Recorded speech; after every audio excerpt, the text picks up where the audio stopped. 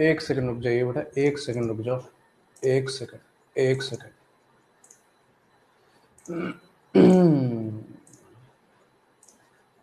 हाँ जी, अब मुझे बताइए एक बार, क्या ऑडियो और वीडियो एकदम परफेक्ट है? एक बार मुझे बता दो यार चैट सेक्शन में। क्या ऑडियो एंड वीडियो एकदम परफेक्ट है? एक बार मुझे बता दीजिए चैट सेक्शन में। ऑडियो एंड वीडियो परफेक्ट है? ठीक है। ठीक है ठीक है ठीक है ठीक है। ठीक है ठीक है ठीक है। हम्म।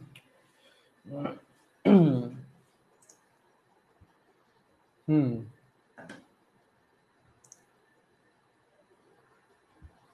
अरे वाह। वाह बेटा। ग्रुप बना दिए हो। हम्म? मज़ा आ रहा है। वाह यार, बड़ा आगे चल रहे हो यार तुम लोग। सब रुकेंगे ये, सब बेटा पच्चीस देंगे। जो जो बेटा ग्रुप में ऐड होगा ना, सब बेटा पच्चीस पच्चीस के लिए रेडी हो जाओ।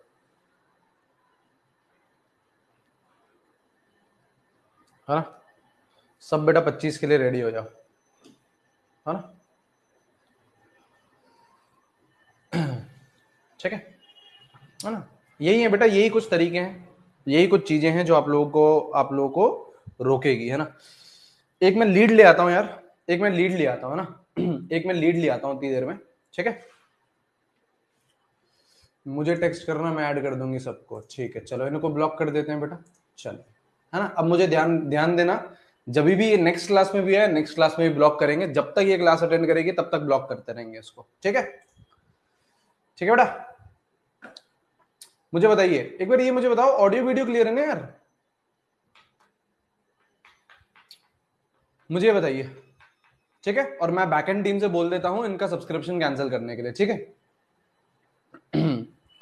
ठीक है, मैं बैकएंड टीम से बोल देता हूँ।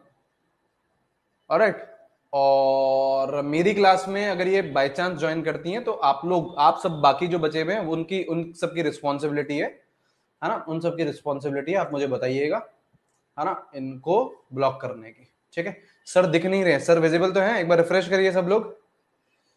और एक बार मुझे बताइए, क्या ऑडियो वीडियो क्लियर है? ऑडियो वीडियो क्लियर है? एक बार यस लिख दीजिए चैट सेक्शन एक बार यस लिख दीजिए चैट सेक्शन पे। Audio and video is clear ठीक है? ठीक है? ठीक है। ठीक है।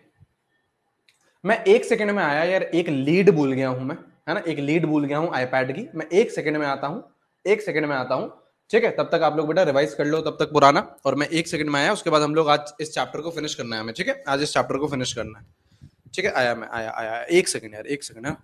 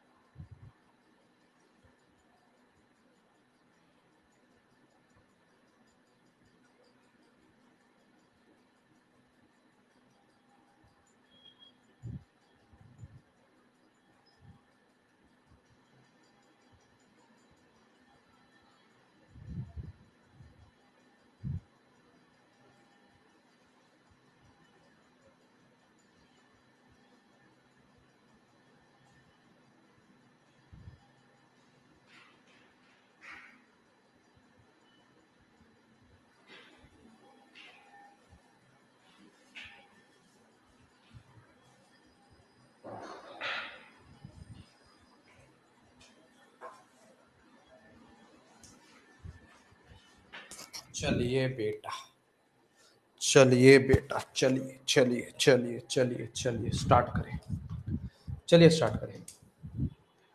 ठीक है? आ जाओ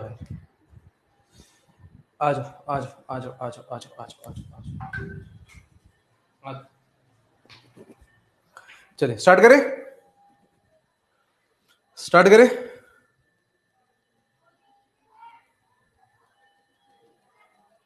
चलिए स्टार्ट करें। स्टार्ट करें स्टार्ट करें स्टार्ट करें स्टार्ट करें। Is sir visible sir is visible यार। सर इज़ विजिबल यार। हाय आई एम विजिबल है ना? Please refresh I am visible भाई आई एम विजिबल ठीक है? चलिए। नो सर क्या होता है बेटा? हम अपने आप को देख पा रहे हैं तो आप भी हमें देख ही पा रहे होंगे। नो सर क्या होता है यार? हम्म? हम्म? ठीक है?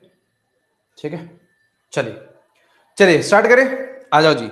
देखिए बेटा मोटा मोटा अगर मैं बात करूँ, चलो बेटा, बस बस बस बस बस बस बस, बेटा, आ जाओ। देखिए देखिए मोटा मोटा अगर मैं बात करूँ तो आप लोगों की तीन चीज़ें बची हैं। अगर एक ब्रॉड स्पेक्ट्रम में बात करता हूँ तो आप लोगों की तीन चीज़ें बची हैं। एक बचा है बेटा bonding in metal carbon metal carbon मतलब वो कार्बन मोनोक्साइड वाले है ना तो उसमें बॉन्डिंग कैसे होती है? एक वो चर्चा करनी है।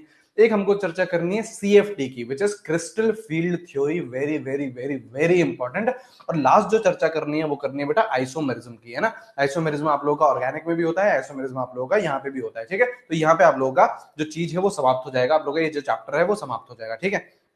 अच्छा चलिए स्टार्ट करते हैं। सबसे पहले हम लोग बात करते हैं बेटा मेटल कार्बोनिल्स की, थोड़ी सी चर्चा करते हैं। मेटल कार्बोनिल हम क्या बोलना चाह रहे हैं? जिसमें बेटा मेटल मेटल और इसके बीच में बॉन्ड होता है, किसमें? Carbon monoxide. कार्बोनिल का मतलब क्या है बेटा? Carbon monoxide. तो देखिए, यहाँ पे चर्चाएँ कैसे होती है, बड़े ध्यान से समझिएगा, बड़े ध्यान से समझिएगा।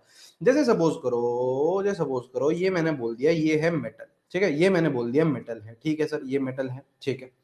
यहाँ पे बेटा क्या है? कार्बन मोनोक्साइड है। This is what CO this is what carbon monoxide ठीक है? सर, ये कार्बन मोनोक्साइड है। कार्बन मोनोक्साइड कैसे बिहेव करता है? कार्बन मोनोक्साइड बिहेव करता है लीगेंड की तरह। क्या करता है? इलेक्ट्रॉन डोनेट करता है। तो देखिए, सबसे पहली चीज़, सबसे बेसिक चीज़ तो होगी होगी। सबसे पहली चीज़, सबसे बेसिक चीज़ तो होगी होगी। यहाँ पे बेटा क्या होंगे? लोन पेयर होंगे। और ये इसको क्या कर देगा? डोनेट कर देगा। ये होगा ही नहीं होगा? बिल्कुल होगा। भाई साहब लीगन का काम क्या है? लीगन का काम है मेटल को डोनेट करना। तो लीगन ने अपने इलेक्ट्रॉन मेटल को डोनेट कर दिया। बहुत अच्छी बात है। इस डोनेशन से इस डोनेशन से कौन सा बॉन्ड बनता है? इस डोनेशन से बनता है। बेटा सिग्मा बॉन्ड। चलो मैं यहीं पर ही लिख देता हूँ। ये कौन सा बॉन्ड बनता है? सिग्मा बॉन्ड बनता है। बिल्कुल सही। तो मेटल कार्बोनिल और मेट, मेटल कार्बोनिल और मेटल के बीच में क्या आ गया? सिग्मा बॉन्ड आ चुका है। बिल्कुल सही। है अब देखो अब होता क्या है? मेटल भाई साहब के पास भी क्या होते हैं आप लोगों के? आप लोग के इलेक्ट्रॉन्स होते हैं। जैसे देखो यार मेटल के भी मेटल के पास देखो एम ऑर्बिटल तो है ही है, लेकिन अंदर तो उसके पास कुछ ना कुछ इलेक्ट्रॉन्स तो होंगे ना, बिल्कुल होंगे। तो आपका जो सेंट्रल मेटल होता है, उसके पास क्या होते हैं? ऐसे फिल्ड इलेक्ट्रॉन्स होते हैं। ऐसे ऐसे ऑर्बिटल्स होते हैं जो मैं ग्रीन कलर के बना रहा हूँ। यहाँ पे बेटा क्या होता है? यहाँ पे बेटा क्या होते हैं? यहाँ पे आपके इलेक्ट्रॉन्स होते हैं। तो ये रे इलेक्ट्रॉन ये रे इलेक्ट्रॉन, ये रे इलेक्ट्रॉन, ये रे इलेक्ट्रॉन, ये क्या है बेटा? ये है आप लोगों के फ़ील्ड फ़ील्ड ऑर्बिटल्स, ठीक है सर? ये है आप लोगों के फ़ील्ड ऑर्बिटल्स। अब देखिएगा बेटा, होता क्या है? अब देखिएगा बेटा, होता क्या है? यहाँ पे समझो इस चीज़ को, है ना? Carbon carbon di carbon monoxide ने, या फिर से मैं क्या बोल सकता हूँ? कार्बोनिल ने। सबसे पहले कार्बोनिल ने क्या करा? अपने जो लोन पेयर थे, वो मेटल को दे दिए, बिल्कुल दे दिए, सर। अब होता क्या है? ये जो कार्बोनिल है, इस कार्बोनिल के पास भी क्या होते हैं? एमटी ऑर्बिटल होते हैं। मैं बेटा कलर बिल्कुल अलग अलग सारे लेके चलूँगा ताकि आपको अच्छे से दिखे। इस मेटल कार्बोनिल के पास भी बेटा क्या होता है? एमटी ऑर्बिटल होते हैं। तो देखो मैंने इसके ये बनाया एमटी ऑर्बिटल ये मैंने बनाया एमटी ऑर्बिटल ठीक है? और ये जो ऑर्बिटल रहता है, ये कौन सा ऑर्बिटल रहता है? ये रहता है बेटा एंटी बॉन्डिंग है ना? हम लोगों ने बेटा मॉलिकुलर ऑर्बिटल थ्योरी पढ़ी है केमिकल बॉन्डिंग में। तो ये कौन सा रहता है? एंटी बॉन्डिंग ऑर्बिटल रहता है। कौन सा? पाई स्टार ऑर्बिटल अब देखिए बेटा होता क्या है?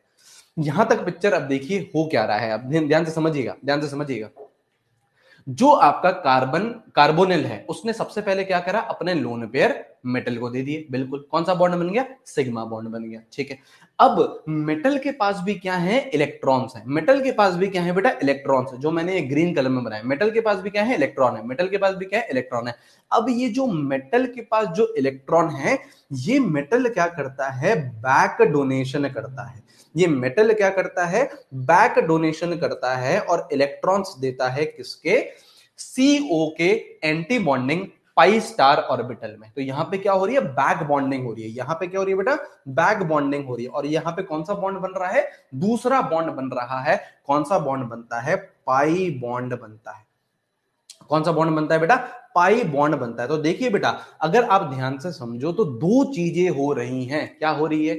सबसे पहली चीज़ जो आपका कार्बोनिल है, वो लीगेंड है। कार्बोनिल लीगेंड ने क्या करा? अपने लोन पेयर सेंट्रल मेटल को दिए, बिल्कुल दिए। अब सेंट्रल मेटल बोल रहा है कि हमारे पास फ़ील्ड ऑर्बिटल है, बिल्कुल सी। और कार्बन कार्बोनिल के पास क्या है? एमटी ऑर्बिटल है। और कौन सा एंटी और कौन सा एमटी ऑर्बिटल है? एंटी बॉन्डिंग वाला है। एंटी बॉन्डिंग वाला है। तो यहाँ पे क्या करता है? जैसे देखो, इधर इलेक्ट्रॉन्स हो गए सेंट्रल मेटल के पास क्या हो गया इलेक्ट्रॉन हो गए।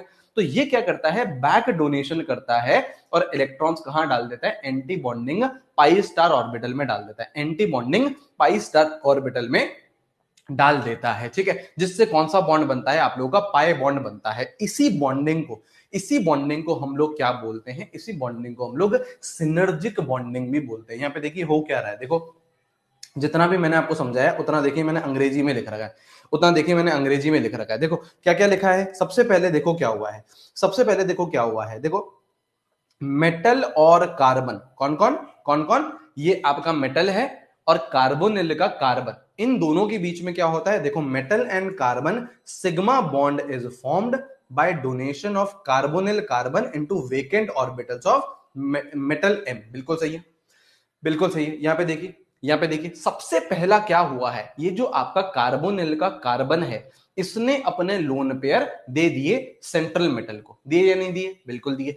अच्छा सेंट्रल मेटल ने जो लोन पेयर लिए होंगे, वो कहाँ लिए होंगे? इसके एमटी ऑर्बिटल में। तो इसका मैं यहाँ पे एमटी ऑर्बिटल भी बना देता हूँ।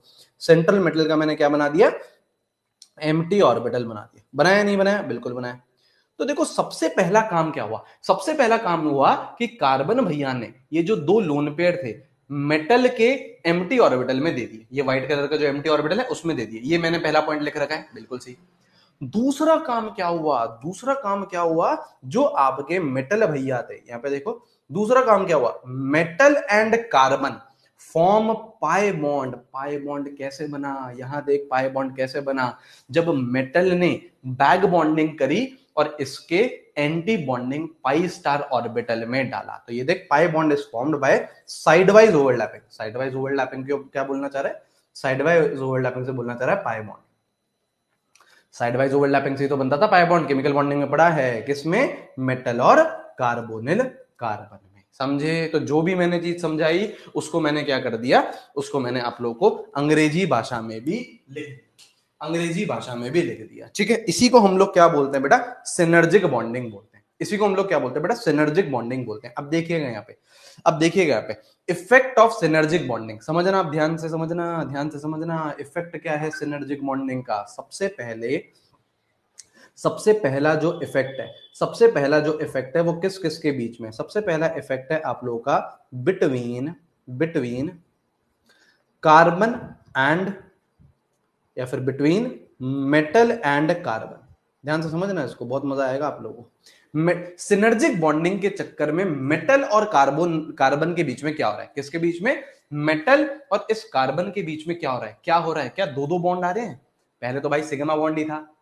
अभी तक हम लोगों ने क्या पढ़ा है? केवल और सिग्मा बॉन्ड बड़ा है। अब आपका बैक बॉन्डिंग से कौन सा बॉन्ड बन रहा है? पाए बॉन्ड भी बन रहा है। तो क्या मैं ये बोलूँगा कि दो दो बॉन्ड आ रहे हैं, बिल्कुल आ रहे हैं। तो क्या मैं ये बोल सकता हूँ? बॉन्ड ऑर्डर इंक्रीज कर रहा है।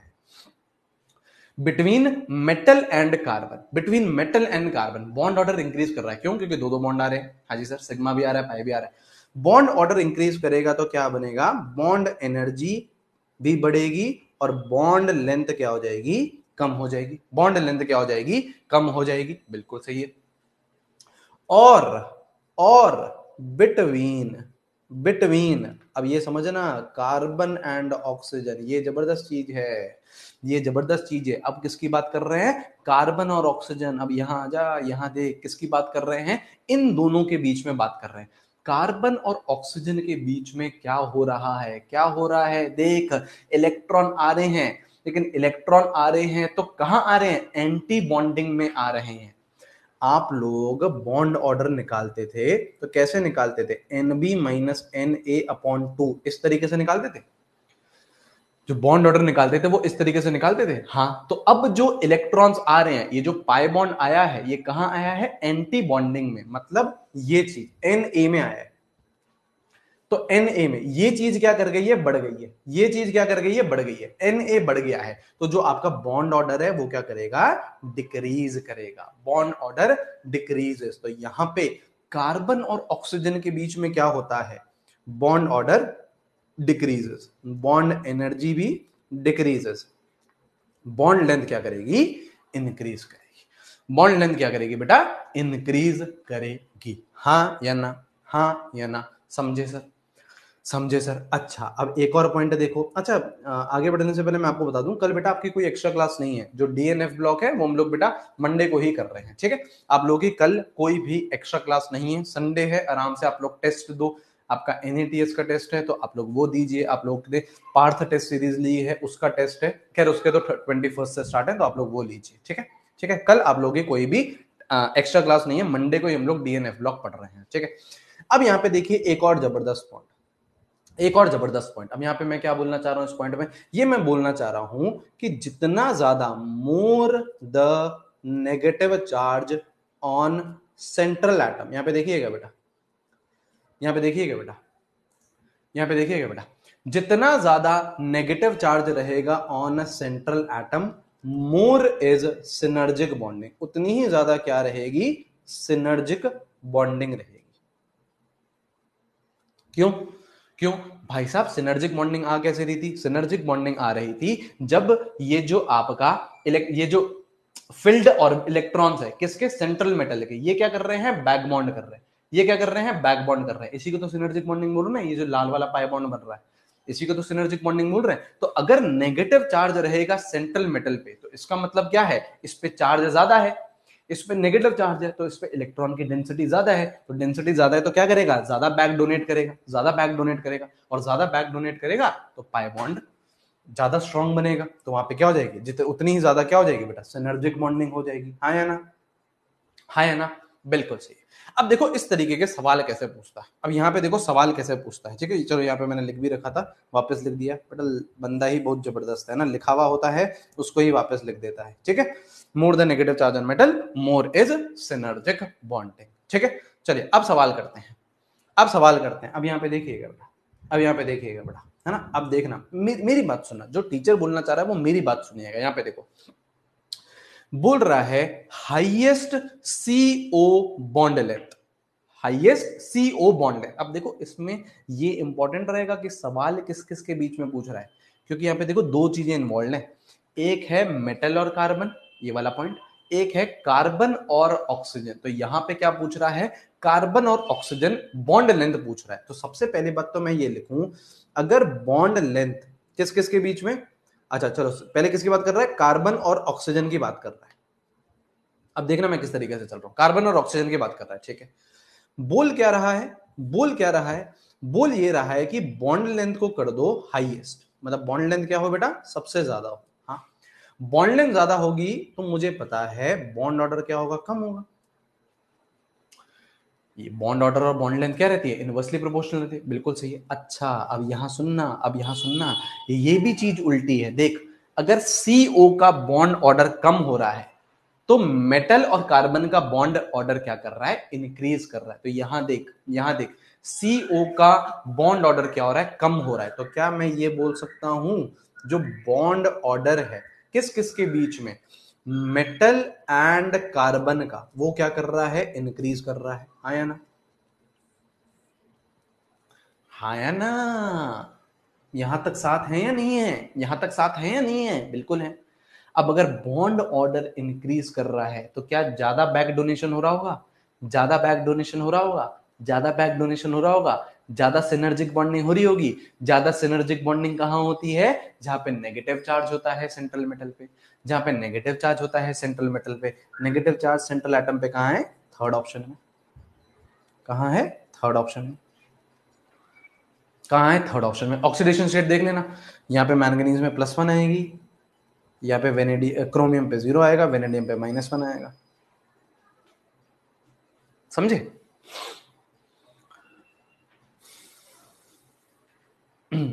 समझे? समझे? चलो, एक और। आ जाओ एक और। हाँ रिपीट करना है ना बेटा? हाँ रिपीट कर रहे हैं बेटा? रिपीट कर रहे हैं बेटा? आ जाओ। स्ट्रॉन्गेस्ट सीओ बॉन्ड अब देखो, देख, आप देखो, पहले बोल किसके बारे में रहा है। मैं से रिपीट कर रहा हूँ, ये थोड़ी सी चीज़ टफ है। किसके बारे में बात कर रहा है? क्वेश्चन किसके बारे में बोल रहा है? कार्बन और ऑक्सीजन के बारे में। ठीक है? ठीक है। क्या बोल रहा है इसका? इसका ये बोल रहा है कि जो बॉन्ड ऑर्डर है, वो सबसे स्ट्रॉन्ग हो। मतलब बॉन्ड ऑर्डर क्या रहे? सबसे ज़्यादा। बॉन्ड ऑर्डर क्या रहे? सबसे ज़्यादा। यहाँ पे देख, इस पॉइंट को समझ। अगर इस कार्बन और ऑक्सीजन का बॉन्ड ऑर्डर कम होता है तो मेटल और कार्बन का क्या करता है? बढ़ता है।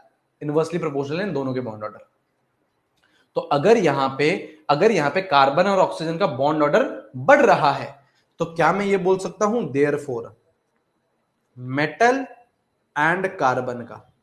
मेटल एंड कार्बन का जो बॉन्ड ऑर्डर है वो क्या करेगा? डिक्रीज करेगा। यहाँ तक हम साथ हैं या नहीं है? यहाँ तक हम साथ हैं या नहीं है?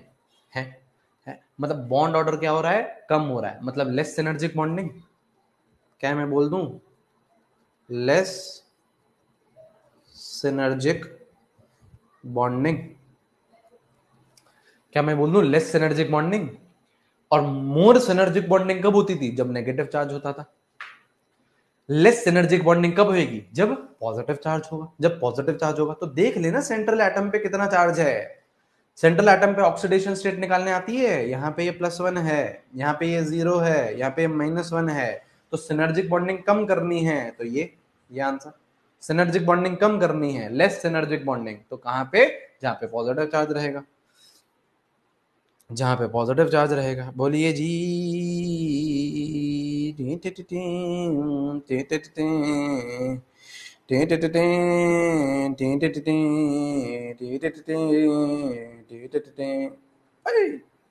बोलिए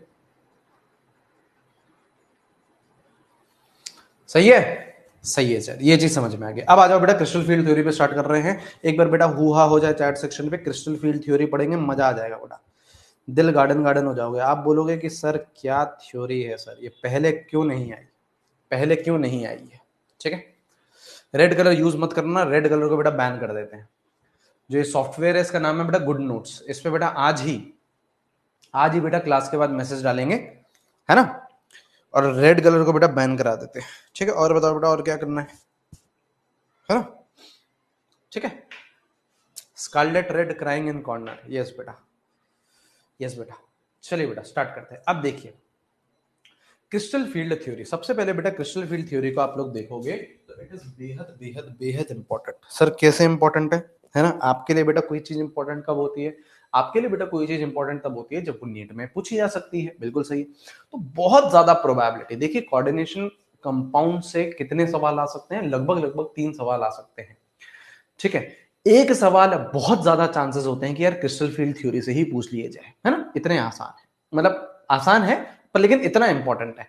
तो सबसे पहले तो देखो कि क्रिस्टल फ़ील्ड थ्योरी बोल क्या रही है। क्या बोल रही है? मैं फटाक से पढ़ देता हूँ, है ना? क्या बोलना चाह रहा है? भाई साहब बोलना चाह रहे हैं, भाई साहब बोलना चाह रहे हैं interaction between metal atom and ligand is purely electrostatic ठीक है? हम लोग क्या मानते हुए चलते हैं? जो सेंट्रल मेटल है और लीगेंड है, दोनों के बीच में इलेक्ट्रोस्टैटिक बॉन्ड है। इलेक्ट्रोस्टैटिक बॉन्ड है मतलब आयनिक बॉन्ड है, ठीक है? नेक्स्ट पॉइंट क्या बोल रहा है? नेक्स्ट पॉइंट बोल रहा है कि जो अनायनिक लीगेंड है, वो पॉइंट चार्जेस होते हैं, ठीक है? न्यूट्रल लीगेंड है, उनको हम लोग कैसे लेते हैं? डाइपोल की तरह लेते हैं, ठीक है? कुछ नहीं है, एक पॉइंट है, सुन लीजिए बस। अब यहाँ पे जो लास्ट वाला पॉइंट है, जो ग्रीन में लिखा है, ये सबसे ज़्यादा इंपॉर्टेंट है। अब ये पॉइंट बोल क्या रहा है? ये बोल रहा है कि different d orbitals face different repulsion and hence lose degeneracy ठीक है? अब ये कुछ बोलना चाह रहा है। ये लास्ट वाला पॉइंट बेटा चीख चीख के कुछ बोलना चाह रहा है, इसको मैं देखता हूँ। ठीक है? ठीक है? ठीक है, एक सेकेंड। यहाँ पे देखिए, यहाँ पे देखिए। क्या बोल रहा है? देखिए क्या बोल रहा है। Different d orbitals for different repulsion मतलब जो आपके डी ऑर्बिटल्स होते हैं, वो अलग अलग होते हैं, ठीक है? और वो क्या करते हैं? रिपल्शन फेस करते हैं and hence lose degeneracy ये जो थर्ड पॉइंट है आप लोगों का, यही सबसे ज़्यादा इंपॉर्टेंट है। ये जो थर्ड पॉइंट है आप लोगों का, यही सबसे ज़्यादा इंपॉर्टेंट है। यहीं पर ही हम लोग को सारी की सारी चीज़ें देखनी है। अब देखिए, क्या बोलना चाह रहा है? क्या बोलना चाह रहा है? अभी अभी समझाता हूँ मैं आप लोगों को, अभी एक एक चीज़ समझाता हूँ मैं आप लोगों को। देखो, क्या बोल रहा है? Loss of degeneracy leads to splitting of d orbitals leads to splitting of d orbitals ठीक है? ठीक है, अब देखो क्या बोल रहा है। यहाँ पे देखिए, एक बार, यहाँ पे देखिए। सबसे पहली बात यार हम लोग अटोमिक स्ट्रक्चर की नॉलेज से देखें तो दो तरीके के डी ऑर्बिटल्स होते हैं। है ना? दो तरीके के बेटा डी ऑर्बिटल्स होते हैं। दो तरीके के कौन कौन से डी ऑर्बिटल हैं? एक है बेटा नॉन एग्जियल ठीक है? और एक है बेटा एग्जियल है ना?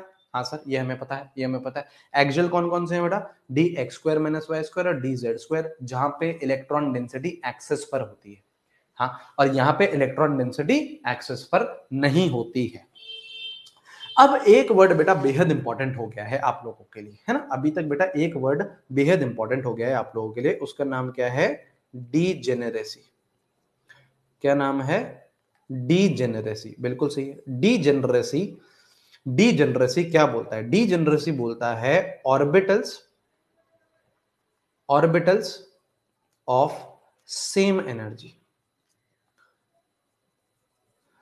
degeneracy क्या बोलता है? डी जनरेसी ये बोलता है कि जो ऑर्बिटल्स हैं, उनके क्या होने चाहिए? सेम एक सेकंड हो गया यार, क्या चल रहा है यार?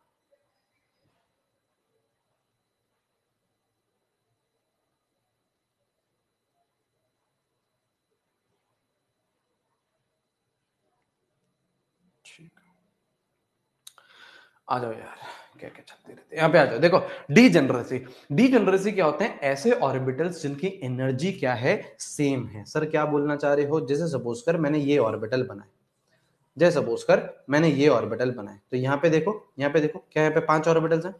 यहाँ पे देखिए, क्या यहाँ पे पाँच ऑर्बिटल्स है? हाँ तो पाँचों ऑर्बिटल मैंने क्या बनाया सेम लेवल पे बनाया तो यहाँ पे मैं बोल सकता हूँ five orbitals five orbitals of same energy क्या मैं बोल सकता हूँ? फाइव ऑर्बिटल्स क्या है? सारे के सारे ऑर्बिटल्स क्या है? सेम एनर्जी के। या फिर मैं बोल सकता हूँ डी जनरेट ऑर्बिटल्स है। ये क्या है बेटा? डी जनरेट ऑर्बिटल्स है। बिल्कुल ठीक है सर। बिल्कुल ठीक है सर। अब देख रहे हैं यहाँ पे। अब देख रहे हैं यहाँ पे। अब देखिएगा यहाँ पे। अब देखो, हम लोगों को जो क्रिस्टल फ़ील्ड स्प्लिटिंग एनर्जी पढ़नी है, हम लोगों को या फिर क्रिस्टल फ़ील्ड स्प्लिटिंग पढ़नी है, जो आपकी क्रिस्टल फ़ील्ड थ्योरी है किस किस के लिए पढ़नी है? हमको दो के लिए पढ़नी है। एक कोऑर्डिनेशन नंबर छह, एक कोऑर्डिनेशन नंबर चार। हमको, हमारे लिए जो इंपॉर्टेंट है, वो यही है। अभी मैं आप लोगों को आइसोमेरिज्म भी पढ़ाऊँगा। आइसोमेरिज्म भी हम लोगों को दो ही चीज़ों का पढ़ाना है। एक कोऑर्डिनेशन नंबर चार, एक कोऑर्डिनेशन नंबर छह। सबसे पहले हम स्टार्ट किससे कर रहे हैं? हम लोग स्टार्ट कर रहे हैं कोऑर्डिनेशन नंबर छह से, और यही सबसे ज़्यादा इंपॉर्टेंट है। ठीक है? CFT में जो सबसे ज़्यादा इंपॉर्टेंट है, वो क्या है? कोऑर्डिनेशन नंबर छह। कोऑर्डिनेशन नंबर छह का मतलब क्या है? आपका आपका आपका ऑक्टाहेड्रल की बात होने वाली है। किसकी बात होने वाली है? ऑक्टाहेड्रल की बात होने वाली है। अब यहाँ पे देखिएगा एक बार। यहाँ पे देखिएगा। अब देखो बोल क्या रहा है। मैं एक बार चैट सेक्शन बंद कर रहा हूँ। ध्यान यहाँ लगाइएगा। पॉइंट आपका क्या बोल रहा है? पॉइंट ये बोल रहा है कि in octahedral complex ligands approach towards axes ligand कैसे अप्रोच करते हैं? टूवर्ड्स एक्सेस अप्रोच करते हैं। यहाँ पे देखिएगा। हमको पता है कि तीन आपकी एक्सेस होती है। यहाँ पे देखो, ये एक मैंने डंडा खींचा। ये एक मैंने डंडा खींचा। ये एक मैंने डंडा खींचा और ये एक मैंने डंडा खींचा। ठीक है, ये देखो, ये मैंने बना दिया तीन आपकी एक्सेस ठीक है? यहाँ पे ये हो गया आपका ओरिजिन ये आपका क्या हो गया? ओरिजिन हो गया राइट राइट अच्छा चाहो तो एक्स वाई जेड भी लिख दीजिए, जैसे सपोज़ करो, ये एक्स एक्सेस हो गया, ये वाई एक्सेस हो गया, ये जेड एक्सेस हो गया। अब देखो पॉइंट क्या बोल रहा है? पॉइंट बोल रहा है, अगर ऑक्टाहेड्रल कॉम्प्लेक्स है, और इस इस ओरिजिन पे मैंने क्या बिठा दिया? इस ओरिजिन पे मैंने बिठा दिया आप लोगों का क्या? मेटल को। इस ओरिजिन पे मैंने बिठा दिया मेटल को। अब यहाँ पे देखो क्या बोल रहा है। यहाँ पे ये बोल रहा है कि इन ऑक्टाहेड्रल कॉम्प्लेक्स जो लीगेंड्स है अप्रोच टुवर्ड्स एक्सिस सबसे पहली बात कितने लीगेंड आ रहे हैं? कोऑर्डिनेशन नंबर छह रखा है। तो छह लोन पेयर डोनेट होने वाले अब जो वो लीगेंड आ रहे हैं लीगेंड आ रहे हैं तो किसके थ्रू आ रहे हैं? एक्सेस के थ्रू आ रहे हैं। तो यहाँ पे देखो, ये रहा एक लीगेंड ये रहा देखिए एक लीगन ये रहा दूसरा लीगेंड ये रहा तीसरा लीगेंड ये रहा चौथा लीगन ये रहा पांचवा लीगेंड ये रहा छठा लीगेंड तो लीगन आ रहा है, किसके थ्रू आ रहा है? एक्सेस के थ्रू आ रहा है। लीगेंड किसके थ्रू आ रहा है? एक्सेस के थ्रू आ रहा है। ये आ रहा है एक्सेस के थ्रू ये आ रहा है एक्सेस के थ्रू लीगेंड किसके थ्रू आ रहा है? एक्सेस के थ्रू आ रहा है। अब ऑब्वियसली आपके दो तरीके के ऑर्बिटल्स हैं। तो यहाँ पे देखो क्या बोल रहा है axial orbitals face more repulsion आया ना? हाँ है ना? हाँ। क्यों? क्योंकि जो लीगेंड है, वो कैसे आ रहा है? वो एक्सेस के थ्रू आ रहा है। तो जो ऑब्वियसली जो एक्सियल ऑर्बिटल्स रहेंगे कौन कौन से? D x square minus y square और डी जेड स्क्वायर इनमें क्या आएगा? रिपल्शन ज़्यादा आएगा। इनमें क्या आएगा? रिपल्शन ज़्यादा आएगा। किसमें? ऑक्टाहेड्रल कॉम्प्लेक्स में। कैसे आएगा? कैसे आएगा? उसको मैं आपको समझाता हूँ। यहाँ पे देखिए। यहाँ पे देखिए, यहाँ पे देखिए एक बार। ये है आप लोगों का डी जनरेट ऑर्बिटल्स पाँच मैंने डी जनरेट ऑर्बिटल्स बदले डी की हम लोग चर्चा कर रहे हैं। In in absence of ligand अभी कोई भी लीगेंड नहीं आया। कोई भी लीगेंड नहीं है मतलब लीगेंड क्या है? दूर दूर इन्फिनिटी पे बैठा है। इन्फिनिटी पे लीगेंड बैठा है।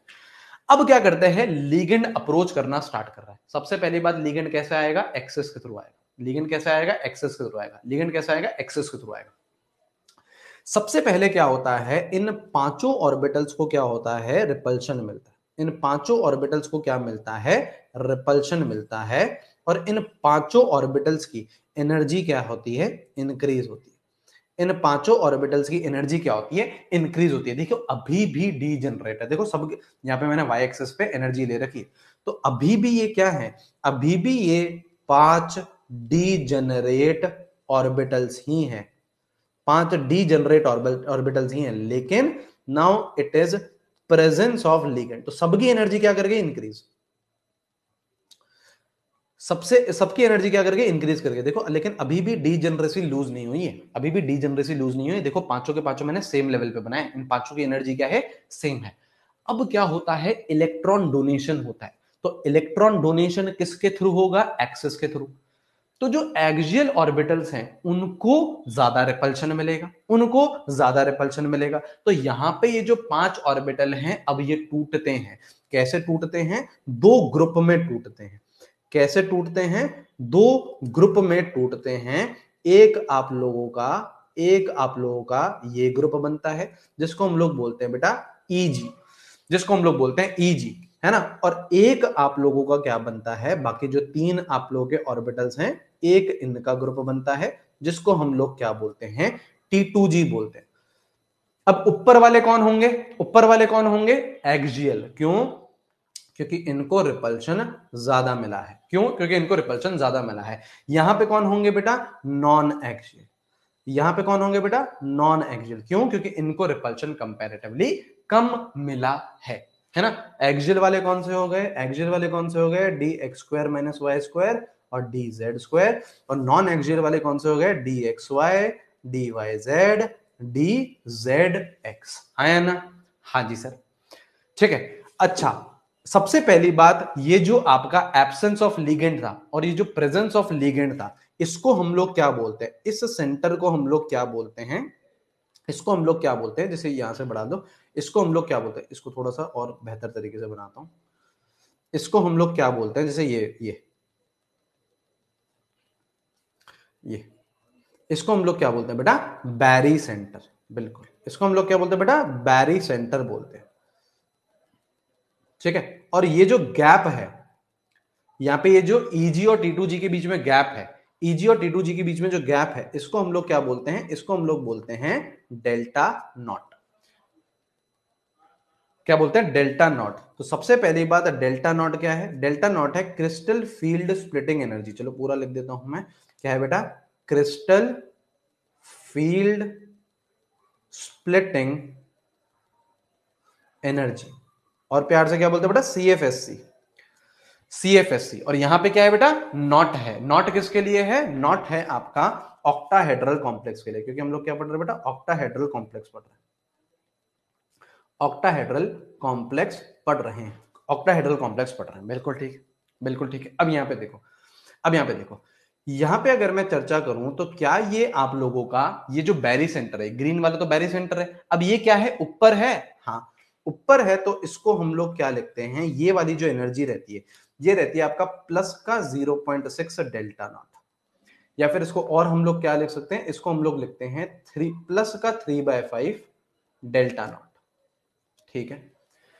और ये जो नीचे होता है, ये जो नीचे होता है, इसको हम लोग क्या बोलते हैं? यहाँ पे हम लोग बोलते हैं माइनस। माइनस का 0.4 डेल्टा नॉट, या फिर इसको लिख सकते हैं minus two by five delta naught. Minus two by five delta naught.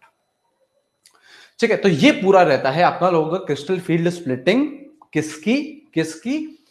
Coordination number छह। तो यहाँ पे देखो डीजेनरेसी लूज कर गए ना? यहाँ पे देखो डीजेनरेसी लूज कर गए, दो अलग अलग ग्रुप में बन जाते हैं। अब यहाँ पे देखिए। अब सवाल ये उठता है कि सर, ये जो गैप था, जिसको आपने बोला क्रिस्टल फ़ील्ड स्प्लिटिंग एनर्जी ये गैप किस किस पे डिपेंड करता है? सबसे पहले तो हम लोग इस पे चर्चा करते हैं। तो सबसे पहला फैक्टर क्या है? Oxidation number of central atom देखो देखो कौन कौन सा है? Oxidation number of central atom तो यहाँ पे अगर मैं ये दो चीज़ें लिखूं, यहाँ पे अगर मैं दो चीज़ें लिखूं, जैसे एफ़ ये है एक, ठीक है, और ये है एक तो यहाँ पे अगर मैं देखूँ, जितना ज़्यादा ऑक्सीडेशन नंबर होता है, जितना ज़्यादा ऑक्सीडेशन नंबर होता है, अगर मैं बेटा सी एफ़ एस सी निकालू तो ऑक्सीडेशन नंबर ज़्यादा तो आपकी सी एफ़ एस सी भी क्या रहती है? ज़्यादा रहती है। सी एफ़ एस सी भी क्या रहती है ज़्यादा रहती ईजी और टी टू जी बेटा नाम है। ईजी और टी टू जी क्या है बेटा? नाम है नाम है नाम है। ठीक है? ठीक है? यहाँ पे देखिए, यहाँ पे देखिए। ऑक्सीडेशन नंबर यहाँ पे कितना है आयरन का? प्लस थ्री यहाँ पे कितना है बेटा? प्लस टू तो जितना ज़्यादा ऑक्सीडेशन नंबर उतनी ही ज़्यादा क्या रहती है? सी एफ़ एस सी रहती है। नेक्स्ट फैक्टर क्या है बेटा? ज्योमेट्री जो देखो, हम लोगों को दो चीज़ें पढ़नी है यहाँ पे देखिए। एक है बेटा ऑक्टाहेड्रल ठीक है? एक है बेटा आपका टेट्राहेड्रल। स्क्वायर प्लेन में हम लोग नहीं पढ़ते हैं। वैसे टेट्राहेड्रल भी हम लोग बहुत ही ना के बराबर ही पढ़ते हैं। हमारा जो मेजर फोकस रहता है वो ऑक्टाहेड्रल पर ही रहता है। तो अगर आपसे हम मैं C F S E compare करवाऊं, अगर मैं आपसे C F S E compare कराऊं octahedral और टेट्राहेड्रल की तो किसकी ज़्यादा रहती है? ऑक्टा की ज़्यादा रहती है। किसकी ज़्यादा रहती है बेटा? ऑक्टा की ज़्यादा रहती है। ऑक्टा की ज़्यादा रहती है। ठीक है सर? ठीक है सर? यहाँ पे देखो। यहाँ पे देखो नेक्स्ट इज़ लीगेंड लीगेंड पे डिपेंड करती है। ये तो सीधी सीधी बात है। ये तो सीधी सीधी बात है। More the more the strong field ligand more the strong field ligand more is C F S E इसको हम लोग देखेंगे भी। इसको हम लोग देखेंगे भी। आज मैं आप लोगों को क्या दूँगा? स्पेक्ट्रोकेमिकल सीरीज़ दूँगा। स्पेक्ट्रोकेमिकल सीरीज़ में क्या है? दुनिया जहाँ के जितने भी लीगेंड हैं जितने भी लीगेंड हैं, सबको अरेंज कर रखा है। तो जितना ज़्यादा कोई स्ट्रॉन्ग फ़ील्ड रहेगा, उतनी ज़्यादा क्या रहेगी? सी एफ़ एस सी रहेगी। उतनी ज़्यादा सी एफ़ एस सी रहेगी, ठीक है? और लास्ट क्या है? ट्रांजिशन मेटल पे भी, जो सेंट्रल मेटल है, उस पर भी डिपेंड करता है। अब कैसे डिपेंड करता है? देखिए, अगर कोई सेंट्रल मेटल थ्री सीरीज़ का है तो उसकी कम रहेगी। फोर सीरीज़ का है तो उसकी ज़्यादा रहेगी। फाइव सीरीज़ का है तो उसकी और भी ज़्यादा रहेगी। उसकी और भी ज़्यादा रहेगी। इसका प्राइम एग्ज़ाम्पल क्या दिया जाता है? इसका प्राइम एग्ज़ाम्पल दिया जाता है। जैसे सपोज़ करो कोबाल्ट है N H three whole six three plus ये एक कॉम्प्लेक्स है। कोबाल्ट अब कोबाल्ट किसका है? थ्री डी सीरीज़ का। कोबाल्ट किसका है? थ्री डी सीरीज़ का है। इसी के नीचे जो एलिमेंट होता है, वो कौन होता है बेटा? रोडियम होता है। तो यहाँ पे देखो, केवल मैं सेंट्रल मेटल चेंज कर रहा हूँ। यहाँ पे देखिए, मैं केवल सेंट्रल मेटल चेंज कर रहा हूँ। ये कौन सी सीरीज़ का बेटा? फोर डी सीरीज़ का। और अगर मैं फाइव डी सीरीज़ का बनाऊँ तो इरिडियम होता है। तो यहाँ पे क्या आता है बेटा ऑर्डर यहाँ पे क्या आता है ऑर्डर बेटा? ये ऑर्डर आता है। यहाँ पे ये ऑर्डर आता है। यहाँ पे ये ऑर्डर आता है। ठीक है? ठीक है तो मोटा मोटा इन फैक्टर्स पे डिपेंड करता है आप लोगों सी एफ़ एस सी ठीक है? अब क्या है? अब सुनिएगा ध्यान से, अब सुनिएगा ध्यान से। अब यहाँ पे बोल क्या रहा है? अब यहाँ पे बोल क्या रहा है? यहाँ पे बोल रहा है how to calculate C F S E अब ये बेहद इंपॉर्टेंट है और यही, ये हमको अच्छे से सीखना है। सवाल पूछता है यहाँ से। How to calculate C F S E C F S E हम लोग कैलकुलेट कैसे करते हैं? स्ट्रॉन्ग फ़ील्ड की कैसे करते हैं? वीक फ़ील्ड की कैसे करते हैं? सारी चीज़ें हम लोग अच्छी तरीके से देखने वाले अब ध्यान से सुनिएगा। ये फॉर्मूला दे रखा है C F S E calculate करने का। क्या है? क्या है? यहाँ पे देखो। देखो क्या बोल रहा है? X into zero point six delta naught x क्या है? कितने इलेक्ट्रॉन्स ईजी में है? जो ऊपर था। यहाँ देख ईजी कहाँ था? ईजी कहाँ था? ये था ईजी इसमें जितने इलेक्ट्रॉन आ रहे हैं, उसको मल्टीप्लाई कर प्लस के zero point six delta naught से। हाँ। यहाँ पे देख। आगे क्या बोल रहा है? Y इंटू माइनस का 0.4 डेल्टा नॉट y क्या है? T2g में कितने इलेक्ट्रॉन आ रहे y क्या है? T2g में कितने इलेक्ट्रॉन आ रहे y क्या है? T2g में कितने इलेक्ट्रॉन आ रहे हैं? बिल्कुल सही है। और यहाँ पे np क्या है? Np क्या है? P is your pairing energy n है आपके नंबर ऑफ़ पेयर्स अभी बताऊँगा कि पेयर कैसे निकालते हैं। बताऊँगा अभी पेयर कैसे निकालते हैं। ठीक है? आइए आइए। ठीक है? यहाँ पे देखिए। अब मैं आप लोगों को निकालना दिखा रहा हूँ कि यार वीक फ़ील्ड में कैसे निकालते हैं सी से स्ट्रॉन्ग फ़ील्ड में कैसे निकालते हैं, सारी चीज़ें। अब यहाँ पे आ जाओ, ध्यान यहाँ पे दीजिएगा, ध्यान यहाँ पे दीजिएगा। सबसे पहला केस किसकी बात कर रहे हैं? डी वन की। अगर आपके स्प्लिटिंग नहीं होती तो क्या इलेक्ट्रॉन यहाँ जाता है? अगर आपके स्प्लिटिंग नहीं होती तो क्या इलेक्ट्रॉन यहाँ जाता है? बिल्कुल जाता है। अब स्ट्रॉन्ग फ़ील्ड का केस है वीक फ़ील्ड का केस है। क्या हो चुकी है? स्प्लिट हो चुकी है चीज़ें। किसमें? टी और ई जी में। क्या है? स्प्लिट हो चुकी हैं चीज़ें किसमें? टी टू जी और ईजी में। तो यहाँ पे देखो this is this is T two G this is E G बिल्कुल सही। एक इलेक्ट्रॉन जाएगा तो कहाँ जाएगा? जिसकी एनर्जी कम है। एनर्जी कम किसकी है? इसकी है। यहाँ पे देखिए इलेक्ट्रॉन जाएगा तो कहाँ जाएगा? जिसकी एनर्जी कम है, कम किसकी है? टी टू जी के। यहाँ चले गया एक इलेक्ट्रॉन बिल्कुल सही। अच्छा वीक फ़ील्ड के केस में भी सेम है। वीक फ़ील्ड के केस में भी सेम है तो यहाँ पे इलेक्ट्रॉन चले गया बिल्कुल चलेगा। अगर आपसे मैं बोलूँ कि इलेक्ट्रॉनिक कॉन्फ़िगरेशन लिखो तो इलेक्ट्रॉनिक कॉन्फ़िगरेशन क्या हो जाएगा? T2G में कितने इलेक्ट्रॉन है? एक तो T2G वन लिख दिया मैंने।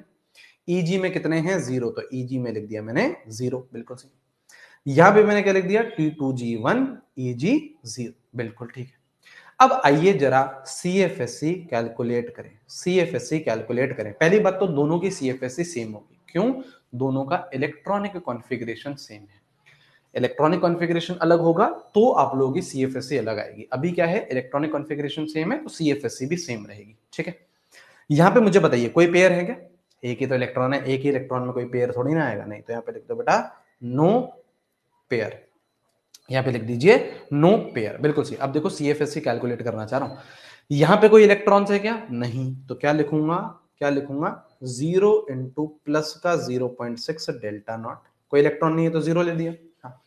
यहाँ पे एक इलेक्ट्रॉन है। हाँ। तो वन इंटू माइनस का zero point four delta naught और कोई भी पेयर है नहीं तो कोई भी पेयरिंग एनर्जी आएगी नहीं। ज़ीरो पी लिख दिया। ज़ीरो पी लिख दिया। तो ये भी ज़ीरो हो गया, ये भी ज़ीरो हो गया। बचा क्या? Minus zero point four delta naught. सही है? हाँ ना? हाँ ना? बिल्कुल सही ये तो कोई दिक्कत की बात नहीं है। ये आगे सी एफ़ एस सी ठीक नेक्स्ट देखते हैं, आ जाओ जरा। नेक्स्ट देखते हैं नेक्स्ट हम लोग चर्चा करते हैं, बेटा डी टू के बारे में। दो इलेक्ट्रॉन जाएँगे, एक यहाँ जाएगा, एक यहाँ जाएगा।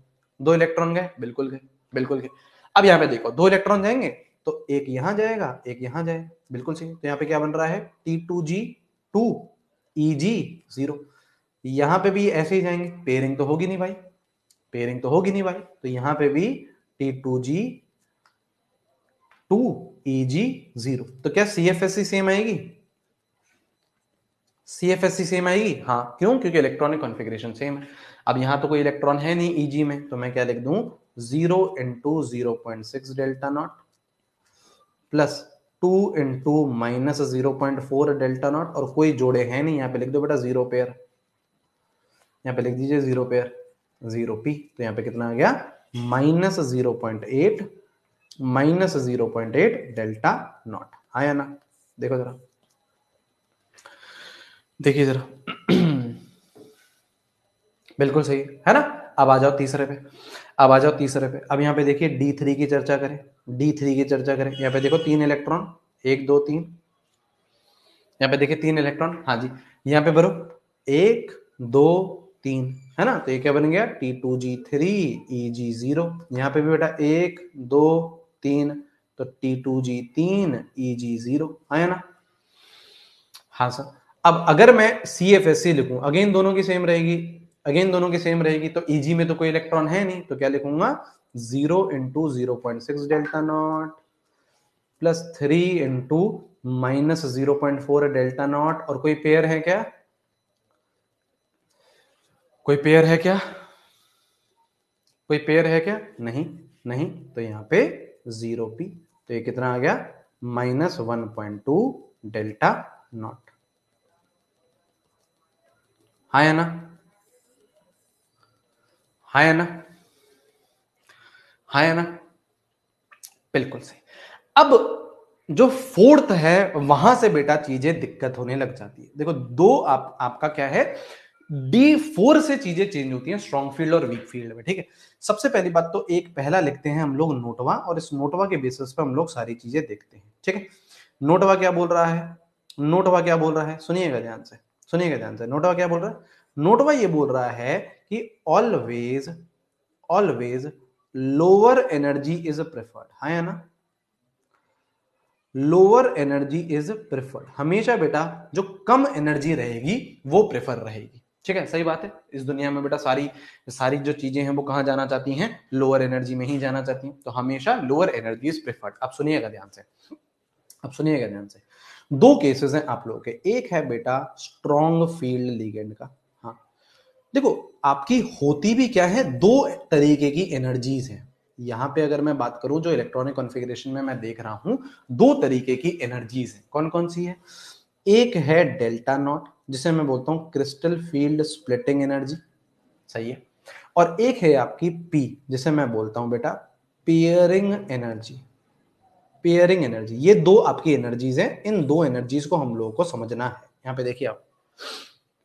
यहाँ पे देखिएगा।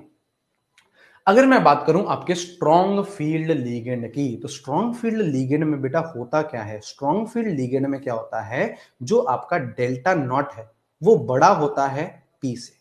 यहाँ पे देखिए बेटा, यहाँ पे देखिए, अपने एजम्पशन मत बनाइए चैट सेक्शन छोड़ दो। यहाँ पे देखो, यहाँ पे देखो। स्ट्रॉन्ग फ़ील्ड लिगेंड में क्या होता है, जो क्रिस्टल फ़ील्ड स्प्लिटिंग एनर्जी है, वो क्या होती है? बड़ी होती है। सही बात है? स्ट्रॉन्ग फ़ील्ड लिगेंड है तो ये जो गैप रहेगा, ये जो गैप रहेगा, ये बड़ा रहेगा, ये क्या रहेगा? बड़ा रहेगा। तो क्रिस्टल फ़ील्ड स्प्लिटिंग एनर्जी बड़ी रहती है और पेयरिंग एनर्जी छोटी रहती है। और हमेशा कौन सी एनर्जी प्रेफर होती है? जो छोटी है। जो छोटी है। तो स्ट्रॉन्ग फ़ील्ड लिगेंड में कौन सी एनर्जी प्रेफर होती है? पेयरिंग एनर्जी प्रेफर होती है। इसीलिए ही क्या होती है? पेयरिंग अकर्स इसीलिए ही क्या होती है बेटा? पेयरिंग होती है। स्ट्रॉन्ग फ़ील्ड लिगेंड में पेयरिंग होती है। क्यों? क्योंकि सीएफएससी बहुत बड़ी हो जाती है। तो छोटी कौन हो जाती है? पेयरिंग तो इसलिए पेयरिंग अकर्स ठीक है? और अगर मैं आप लोगों के, अगर मैं आप लोगों के वीक फ़ील्ड लिगेंड की बात करूँ वीक फ़ील्ड लिगेंड की अगर मैं बात करूँ तो यहाँ पे बेटा जो क्रिस्टल फ़ील्ड स्प्लिटिंग एनर्जी है, वो कम रहती है। और पेयरिंग एनर्जी ज़्यादा होती है। अब इस केस में क्या हुआ? पेयरिंग एनर्जी ज़्यादा हो गई। तो क्या पेयरिंग होगी? क्या? नहीं, अब पेयरिंग नहीं होगी। तभी मैं बोलता हूँ, जो वीक फ़ील्ड लिगेंड है नो पेयरिंग यहाँ पेयरिंग नहीं होगी। यहाँ पेयरिंग नहीं होगी। अब ये सवाल कैसे आया है? यहाँ पे देखिएगा, सवाल कैसे आया है? डी थ्री तक तो पहुँच गए थे हम। हाँ अब यहाँ आ जाओ डी फोर में। अब देखना बेटा, सबसे पहले डी फोर भरो। एक, दो, तीन चार। अब ये सवाल क्यों आया सर? पेयरिंग और नॉन पेयरिंग का। अब यहाँ देख स्ट्रॉन्ग फ़ील्ड लिगेंड है। स्ट्रॉन्ग फ़ील्ड लिगेंड में देख क्या होगा? पेयरिंग अकर्स इसका मतलब क्या? जब इलेक्ट्रॉनिक कॉन्फ़िगरेशन फिल करने जाओगे तो एक, यहाँ देख, एक, दो, तीन और चौथा कहाँ जाएगा? यहाँ पे। चौथी यहाँ पे क्या हो गई? पेयरिंग हो गई। है ना? तो यहाँ पे जो इलेक्ट्रॉनिक कॉन्फ़िगरेशन बन रहा है, वो क्या बन रहा है? T two g four e g zero लेकिन ये जो वीक फ़ील्ड लिगेंड है, यहाँ पेयरिंग नहीं होगी तो यहाँ देख कैसे बनेंगे? एक, दो, तीन और चौथा कहाँ जाएगा? ऊपर जाएगा, क्योंकि यहाँ पे पेयरिंग नहीं हो रही है। तो यहाँ पे जो इलेक्ट्रॉनिक कॉन्फ़िगरेशन आ रहा है, वो क्या आ रहा है? T two g three e g one हाँ या ना? ये चीज़ क्लियर हुई। यहाँ पे पेयरिंग नहीं हुई, यहाँ पे पेयरिंग करवा दी मैंने। यहाँ पे मैंने पेयरिंग करवा दी। अब सुन, अब मैं क्रिस्टल फ़ील्ड स्प्लिटिंग एनर्जी लिखने वाला हूँ। अब मैं क्रिस्टल फ़ील्ड स्प्लिटिंग एनर्जी लिखने वाला हूँ। अब मैं क्रिस्टल फ़ील्ड स्प्लिटिंग एनर्जी लिखने वाला हूँ। अब यहाँ पे देखिएगा, सबसे पहली बात तो यहाँ पे लिख दे कि ज़ीरो पेयर है। है ना? हाँ। क्या सी एफ़ एस सी अलग अलग आएगी इस बार? हाँ। क्यों? इलेक्ट्रॉनिक कॉन्फ़िगरेशन अलग है। इलेक्ट्रॉनिक कॉन्फ़िगरेशन अलग है तो सी एफ़ एस सी की आएगी अलग अलग अब सबसे पहले मैं स्ट्रॉन्ग फ़ील्ड की लिख के बताता हूँ। अब सुनिएगा ध्यान से, सुनिएगा ध्यान से। यहाँ पे तो ज़ीरो पेयर है। हाँ। यहाँ पे पेयर है? हाँ एक पेयर है। लिख दे। जितने पेयर है लिख दे। अभी काम आएगा आपको। काम आ गया।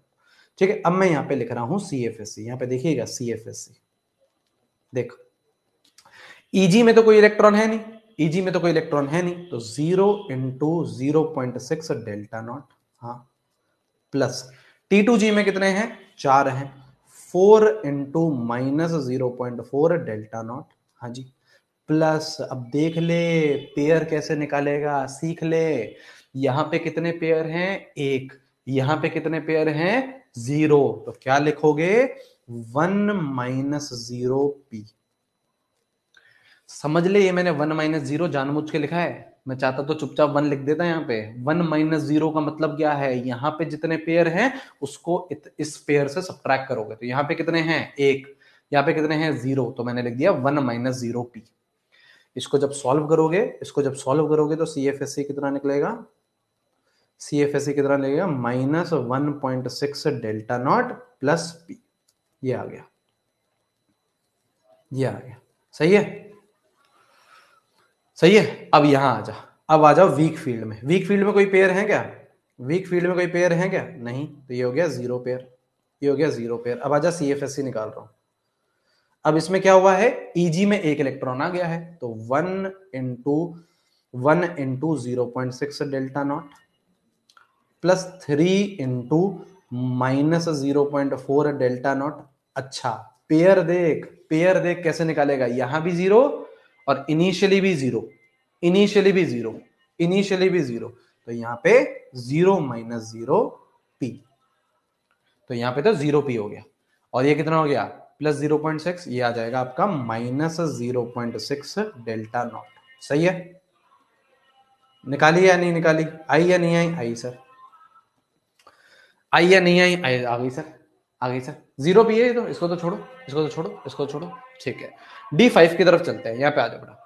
डी फाइव की तरफ़ चलते हैं, यहाँ पे आ जाओ बेटा, यहाँ पे आ जाओ। डी फाइव की तरफ़ चलते हैं। This is your d five. तो इलेक्ट्रॉनिक कॉन्फ़िगरेशन ये मिल गया। कोई पेयर है क्या? नहीं। This is zero pair this is zero pair ठीक है, अब यहाँ पे आइए, अब यहाँ पे स्ट्रॉन्ग फ़ील्ड लीगेंड में पेयरिंग होगी। वीक फ़ील्ड में नहीं होगी।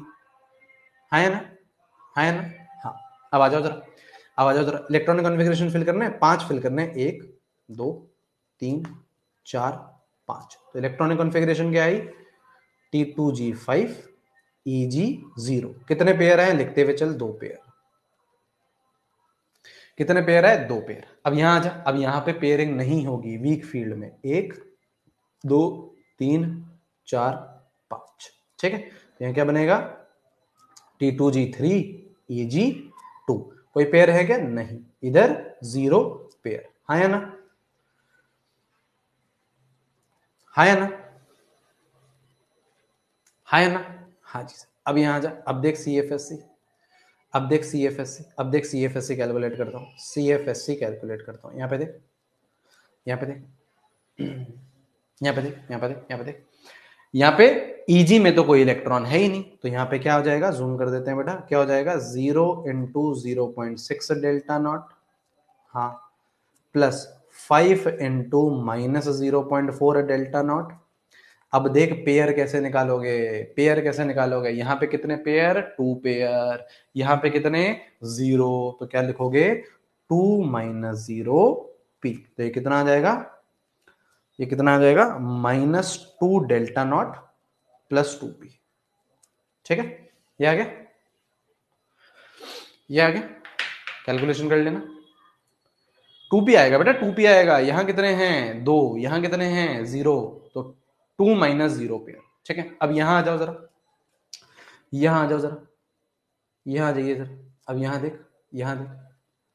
ईजी में कितने इलेक्ट्रॉन है? दो। तो ईजी वाली से मल्टीप्लाई कराकर ईजी वाले से मल्टीप्लाई कराकर two into zero point six delta nought t two g को मल्टीप्लाई कराकर minus zero point four delta nought से अब पेयर देख, यहाँ पे कुछ पेयर है क्या? नहीं ज़ीरो यहाँ पे कुछ पेयर है क्या? नहीं ज़ीरो तो यहाँ पे ज़ीरो माइनस ज़ीरो पी तो इसको पूरे को सॉल्व करोगे तो क्या आएगी? ज़ीरो आएगी।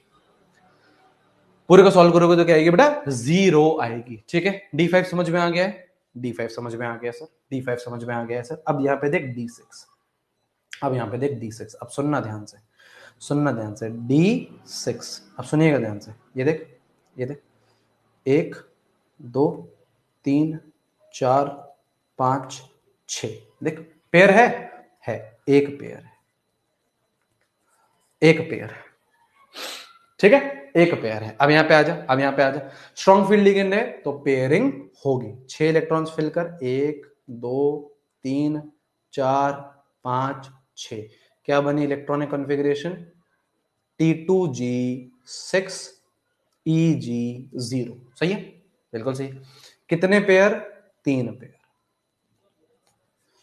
कितने पेयर तीन पेयर ठीक है सर। ठीक है सर। अब यहाँ देख, अब यहाँ देख, अब सुनना ध्यान से। छह इलेक्ट्रॉन फिल करने हैं। कैसे फिल करेगा? कैसे फिल करेगा? एक, दो, तीन, चार पाँच, अब छठा इलेक्ट्रॉन है। छठा इलेक्ट्रॉन तो यहाँ पे पेयर करेगा ही ना। अब ये मत लड़ने लग जाना, सर, यहाँ तो आपने पेयरिंग कर दी। अरे भाई, लड़ाई यहाँ की नहीं है पेयरिंग की। लड़ाई ये थी कि जब तीसरे के बाद हम चौथा इलेक्ट्रॉन डाल रहे थे तो यहाँ पे पेयर करवाए या फिर यहाँ खुदाए। अब तो बेटा पेयरिंग होगी होगी। अब तो बेटा पेयरिंग होगी होगी। तो यहाँ पे लिख ले कितने पेयर एक पेयर ठीक है तो इलेक्ट्रॉनिक कॉन्फ़िगरेशन क्या हो गया बेटा? T two g four e g two सही है? सही है या नहीं है? सही है, सर। सही है या नहीं है? सही है, सर। सही है, सर। अब यहाँ देख, अब मैं सी एफ़ एस सी लिखने जा रहा हूँ। अब यहाँ देखना, मैं सी एफ़ एस सी लिखने जा रहा हूँ इसकी। अब यहाँ देखना सी एफ़ एस सी लिखने जा रहा हूँ यहाँ पे। अब देख ईजी e में कोई इलेक्ट्रॉन है क्या? ईजी e में कोई इलेक्ट्रॉन है क्या? नहीं। तो zero into zero point six delta nought हाँ। टी टू जी में है, कितने हैं? छ टी टू जी में है, कितने हैं? छ तो six into six into minus zero point four delta nought अब पेयरिंग एनर्जी कैसे निकालोगे? पेयरिंग एनर्जी कैसे? Three pair minus one pair मतलब बेसिकली हम लोग पता है क्या देखते हैं? हम लोग देखते हैं एक्स्ट्रा पेयर कितने हैं। यहाँ पे एक ऑलरेडी था। एक के बाद ये कितने बन गए? तीन बन गए। तो एक्स्ट्रा कितने आया? दो ही तो आए। दो ही तो आए। ठीक है? तो यहाँ पे क्या हो गया? थ्री माइनस वन पी ठीक है? तो डिफरेंस निकालते हैं हम लोग। हम लोग देखते हैं एक्स्ट्रा पेयर कितने आ रहे हैं। तो इसको सॉल्व करोगे तो आएगा minus two point four delta nought plus two P plus two P plus two P ठीक है? और यहाँ पे जब कैलकुलेट करोगे, यहाँ पे जब कैलकुलेट करोगे तो सी एफ़ एस सी कैसे आएगा? कैसे आएगा? Two into zero point six delta nought plus four into minus zero point four delta nought. अच्छा पेयर देख लो। यहाँ पे कितने पेयर हैं? एक। यहाँ पे कितने पेयर हैं? एक। तो यहाँ पे लिख दो। One minus one P. तो यहाँ पे कितना हो गया? 1.2 माइनस ये हो जाएगा minus zero point four delta nought.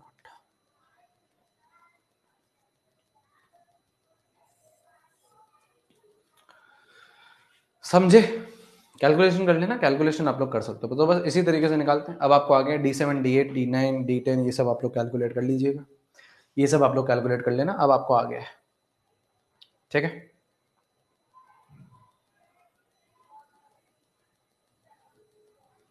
ठीक है? ठीक है? चल चल। ये ये सारी चीज़ समझ में आ गई। अब ये देखो, यही आपकी crystal field theory spectrochemical series है। मैंने हम लोगों को बोला था ना स्पेक्ट्रोकेमिकल सीरीज़ है। स्पेक्ट्रोकेमिकल सीरीज़ से क्या होता है? एग्जैक्टली exactly पता चल जाएगा कि कौन सा वीक फ़ील्ड लिगेंड है, कौन सा स्ट्रॉन्ग फ़ील्ड लिगेंड है। ठीक है? एग्जैक्टली आप लोगों को पता चल जाएगा। अब यहाँ पे देखिएगा। अब यहाँ पे देखिएगा। अब यहाँ पे देखिएगा। यहाँ पे देखिएगा। यहाँ पे देखा प्लस पी होगा ना सर कहाँ पे बेटा? सही तो है। सही किया है ना? इसमें दिक्कत कहाँ है? दिक्कत कहाँ है इसमें?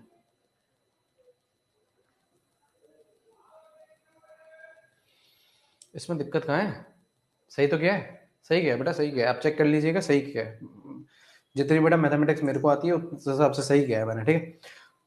ये स्पेक्ट्रोकेमिकल सीरीज़ है। देखिए वीबीटी में यही ड्रॉबैक था। वीबीटी ने बस ये बोला था कि कार्बन और नाइट्रोजन डोनर एटम है तो स्ट्रॉन्ग फ़ील्ड हेलोजन और ऑक्सीजन है तो वीक फ़ील्ड सीएफटी क्या करती है पूरा आप लोगों को लीगेंड का निचोड़ दे देती है कि कौन सा स्ट्रॉन्ग है, कौन सा वीक है। तो जितने भी लीगेंड है बेटा वेल नोन लीगेंड सबका क्या कर दिया है? इसने एक चार्ट बना दिया, एक सीरीज़ बना दी। तो यहाँ पे क्या है? एक यार ये एक ट्रिक है, जो ट्रिक चलती हुई है बेटा मार्केट में, मैंने नहीं बनाई है, मैंने नहीं बनाई है। यहाँ पे जो ट्रिक है वो देख लो, क्या बोल रहा है? देखो क्या बोल रहा है। एक बार सचिन क्लास से फरार, ओहो हो हो, एक बार सचिन क्लास से फरार और ऑक्जलेट का पानी से प्यार, ठीक है? देखो क्या बोल रहा है? वापस मेरे साथ रिपीट करो। एक बार सचिन क्लास से फरार और ऑक्जलेट का पानी से प्यार, ठीक है? ठीक है? अब देखो क्या बोल रहा है। अब सचिन देखो कहाँ चले गया है। हाँ लप्पू सा सचिन है। हाँ अब यहाँ देखो सचिन कहाँ चले गया है। नाचते हुए उड़ता ammonia in North Canada, Colombo मिला। भाई साहब, नॉर्थ कनाडा भी चले गए हैं, कोलंबो भी चले गए हैं। ठीक है? ठीक है, ये आप लोग स्पेक्ट्रोकेमिकल सीरीज़ है, याद करने का तरीका बता दिया याद करने का तरीका बता दिया है, ठीक है? अच्छा हाँ किसी, सही है बेटा, आप लोग बेटा, आप लोग बेटा होशियार बन सकते हो कि सर मेरे को तो इससे बेटर ट्रिक पता है, अपने ट्रिक बेटा आप अपने पास रखिए, आपको पता है आपको अच्छी बात है बेटा, दुनिया को नहीं पता और आपको आपकी ट्रिक पता है है ना? आप बेटा दुनिया से आगे बढ़ जाओगे। दुनिया से आप आगे बढ़ जाओगे, है ना? तो अच्छी बात है। आप अपने ट्रिक अपने पास रखिए, कोई दिक्कत की बात नहीं है ना अपने। आपको आपको जिस तरीके से याद होता है, याद कर लो। मैंने एक ट्रिक आपको बता दी ठीक है, अब यहाँ पे देखो इंपॉर्टेंट चीज़ क्या है? इतने सारे लीगेंड में, ये जो पानी है बेटा, पानी तक क्या होते हैं? वीक फ़ील्ड लीगेंड होते हैं। यहाँ पे देखिए, इस पानी तक बेटा क्या होता है? Up to water weak field ligand होते हैं। पानी तक क्या होता है बेटा? वीक फ़ील्ड लीगेंड होते हैं। इससे बाद में क्या स्टार्ट हो जाते हैं? स्ट्रॉन्ग फ़ील्ड लीगेंड स्टार्ट हो जाते हैं। ठीक है सर और कहीं पे भी अगर कार्बन डोनर है तो सबसे स्ट्रॉन्ग रहेगा then nitrogen donor then oxygen donor then halogen ये तो ठीक है। ये तो ठीक है। बिल्कुल ठीक है सर अच्छा अब यहाँ देखिए, अब यहाँ देखिए। जैसे देखो, ये आ गया। देखो 2019 में सवाल पूछ लिया। अब आप पूछ रहे थे, किस तरीके से सवाल पूछेगा? ये आ गया सवाल। देखो, क्या बोल रहा है? What is the electronic configuration of the central atom अब देखो इसको कैसे करोगे? देखिए इसको कैसे करोगे? देखो आपका जो कॉम्प्लेक्स है वो क्या है बेटा? कॉम्प्लेक्स है K four F E C N six ये है।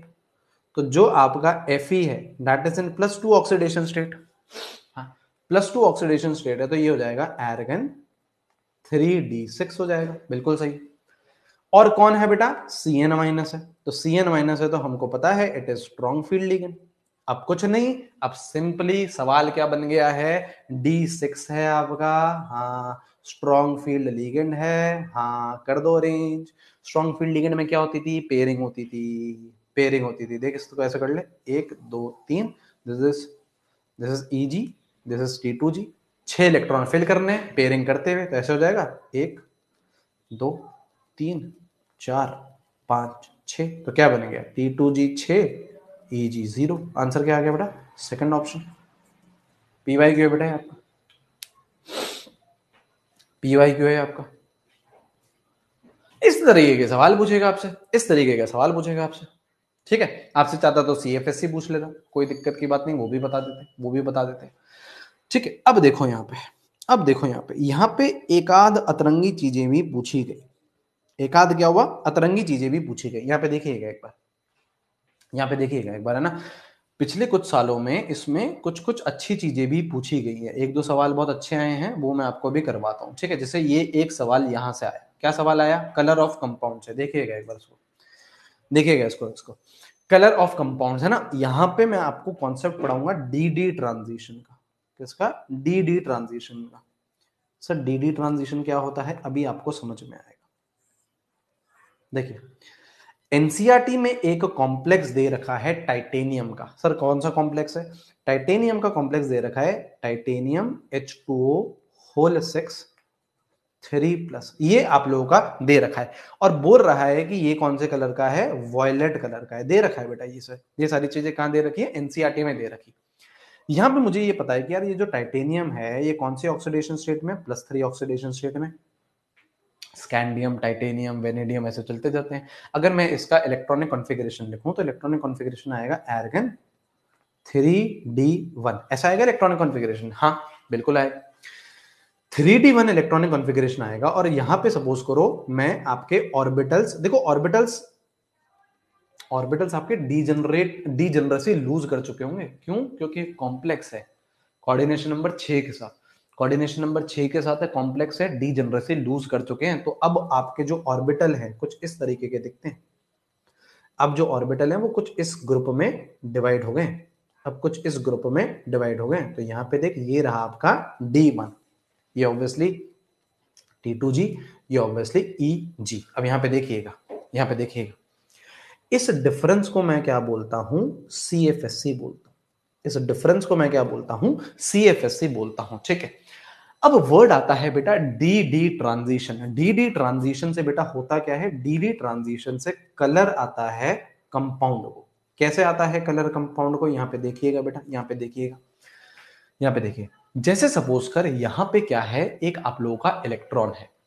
अब ये जो इलेक्ट्रॉन है सपोज़ कर, मैंने इस पे मारा फोटोन सपोज़ कर, मैंने इस पे क्या मारा? फोटोन मारा. तो जब आप इस पे फोटोन मारोगे तो ये क्या करेगा? ये आपके हायर शेल्स में कूदेगा। हमने एटॉमिक स्ट्रक्चर में पढ़ा है। जब भी आप इसको एनर्जी दोगे तो ये क्या करेगा? हायर एनर्जी लेवल्स में कूदेगा। बिल्कुल कूदेगा। तो यहाँ पे ये क्या होता है? आपने कोई सा भी इसको फोटोन मारा, इसको क्या करी? इसको एनर्जी दी। तो यहाँ पे आता है lambda absorption A B lambda absorption और ये क्या है बेटा? एनर्जी है। ये जो गैप है, ये क्या है? एनर्जी है। और हमें पता है जो प्लैंक्स क्वांटम थ्योरी थी, वहाँ से हमें पता है energy is what h c by lambda तो एनर्जी और lambda is inversely proportional energy और lambda is what inversely proportional हाँ जी तो एक चीज़ मैं बोल सकता हूँ, एक चीज़ मैं बोल सकता हूँ कि यहाँ से जो सी एफ़ एस सी है that is inversely proportional to that is inversely proportional to lambda absorption हाँ या ना? Inversely proportional to lambda absorption मैं बोल सकता हूँ। लैमडा और सी एफ़ एस सी क्या रहते हैं? इनवर्सली प्रोपोर्शनल रहते हैं, ठीक है? अब देखिए, अब एक आपका फंडा होता है कॉम्प्लीमेंट्री कलर का। एक आपका फंडा रहता है कॉम्प्लीमेंट्री कलर का। क्या रहता है कॉम्प्लीमेंट्री कलर का फंडा? कॉम्प्लीमेंट्री कलर का क्या रहता है फंडा? कॉम्प्लीमेंट्री कलर का ऐसा कुछ रहता है फंडा। यहाँ पे देखो। यहाँ पे देखो, ये आपका मैंने व्हील बनाया, यहाँ पे देखिए ये व्हील बनाया। इस व्हील को इस तरीके से डिवाइड कर दो। इस व्हील को इस तरीके से डिवाइड कर दो। ठीक, अब देखो, यहाँ पे आपका विब ग्योर लिखते हैं यहाँ पे हम क्या लिखते हैं, आपका विब ग्योर लिखते हैं। सर, कैसे लिखते हैं विब ग्योर आई खा जाते हैं। अब आई खा जाते हैं। क्या लिखते हैं? वीबी जियोर क्या लिखते हैं? VIBGYOR V B G Y O R ये लिखते हैं। सर, ये होता क्या है? हाँ विदाउट आई बिल्कुल विदाउट आई इसमें होता क्या है? सपोज़ करो सपोज़ करो लैमडा एब्जॉर्प्शन वायलेट की है। तो आपको पता है दिखेगा कौन सा? येलो कलर का। कॉम्प्लीमेंट्री कलर होते हैं कॉम्प्लीमेंट्री कलर होते हैं। जैसे अगर सपोज़ करो आपने जो कलर एब्जॉर्ब कराया, वो वायलेट का कराया। ठीक है? यहाँ पे डालिए आपने लैमडा एब्जॉर्ब तो आपको दिखेगा किसका? आपको दिखेगा लैमडा एमिशन कौन सा हो जाएगा? येलो का होगा। ठीक है, जैसे सपोज़ करो आपने ब्लू और ग्रीन मिक्स करा, आपको दिखेगा क्या? रेड और ऑरेंज दिखेगा। इस तरीके से चलता है इस तरीके से चलता है। तो ये भी क्या होते हैं? इनवर्सली प्रोपोर्शनल होते हैं। यहाँ पे जो आपका लैमडा एब्जॉर्प्शन है लैमडा एब्जॉर्प्शन है that is inversely proportional to lambda emitted तो अब यहाँ देख, एक लूप बन गया है। ओए होए, बन जा यार। अब यहाँ देख क्या है, लूप बन गया है। यहाँ देख कहाँ पे लूप बन गया अब ये देख, जो सी एफ़ एस सी है that is inversely proportional to lambda absorption हाँ और lambda absorption is inversely proportional to lambda emission तो यहाँ पे क्या मैं ये लिख सकता हूँ कि यहाँ पे ये सी एफ़ एस सी से लैमडा एमिशन डायरेक्टली प्रोपोर्शनल हो जाएगा।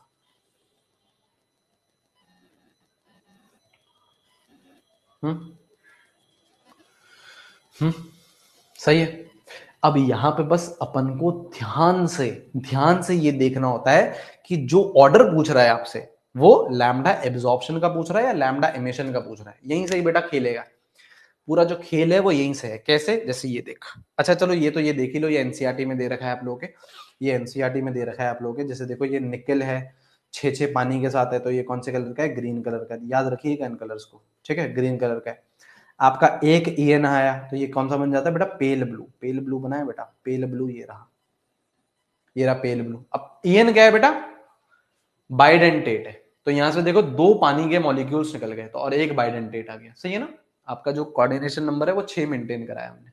कोऑर्डिनेशन नंबर छह मेंटेन का है फिर दो और निकल जाएँगे तो यहाँ पे देखो दो ईएन हो गए। यहाँ पे दो ईएन हो गए। तो ये कौन सा हो गया? ब्लू या फिर पर्पल कलर का। ये हो गया बेटा ब्लू या फिर पर्पल कलर का। ठीक है? खराब कर दू बेटा मैं इसे? ये देखो। ठीक है? ब्लू या फिर पर्पल कलर का। और उसके बाद दो और पानी निकल गए ईएन बन गया तो यहाँ पे क्या हो जाता है? ये वायलेट कलर का हो जाता है। ठीक है? एनसीआरटी का है, मेरा नहीं है।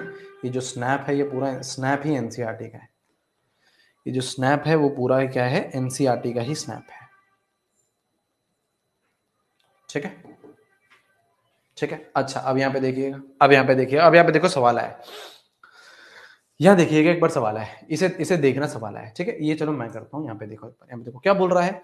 Correct increasing order for the wavelength of absorption अब सुन ले, पहले तो सवाल क्या बोल रहा है? जो आपको ऑर्डर देना है, वो देना है लैमडा एब्जॉर्प्शन का। ठीक है है ना? क्योंकि लैमडा एब्जॉर्प्शन और लैमडा एमिशन का जो ऑर्डर है, वो उल्टा हो जाएगा। लैमडा एब्जॉर्प्शन का आपको ऑर्डर देना है, ठीक है? अब ध्यान से देखो, कोबाल्ट के साथ ईएन है, कोबाल्ट के साथ अमोनिया है, कोबाल्ट के साथ एच टू है। सबसे पहले अगर मैं आपको सीएफएससी का ऑर्डर पूछूँ। CFSC का ऑर्डर पूछो तो CFSC तो सीधा सीधा हमें पता है, जितना ज़्यादा स्ट्रॉन्ग फ़ील्ड उतनी ज़्यादा सी एफ़ एस सी ठीक है? अब ये हमको कहाँ से ध्यान रहेगा? ये हमको स्पेक्ट्रो स्पेक्ट्रोकेमिकल सीरीज़ का एप्लीकेशन आ गया आपसे। यहाँ पे देखो, ये रहा ई सबसे आगे। और कौन है? अमोनिया। अमोनिया कहा है? उससे पीछे है। और कौन है? पानी उससे पीछे। तो ई की जो सी एफ़ एस सी है, वो सबसे ज़्यादा है इन तीनों ऑप्शन में। तो सी एफ़ एस सी का एक ऑर्डर क्या आ गया? सी एफ़ एस सी का ऑर्डर आ गया ई एन सबसे ज़्यादा देन अमोनिया देन पानी। आपसे क्या पूछा है? लैमडा एब्जॉर्प्शन का पूछा है। तो क्या करोगे? उल्टी। लैमडा एब्जॉर्प्शन पूछता तो क्या हो जाएगा? उल्टी हो जाएगी। तो H2O की सबसे ज़्यादा H2O की सबसे ज़्यादा, फिर NH3 फिर EN क्या बोला है? इंक्रीजिंग ऑर्डर बोला है। यहाँ पे देख क्या बोल रहा है। इंक्रीजिंग ऑर्डर इंक्रीजिंग ऑर्डर तो सबसे पहले एच टू आना चाहिए।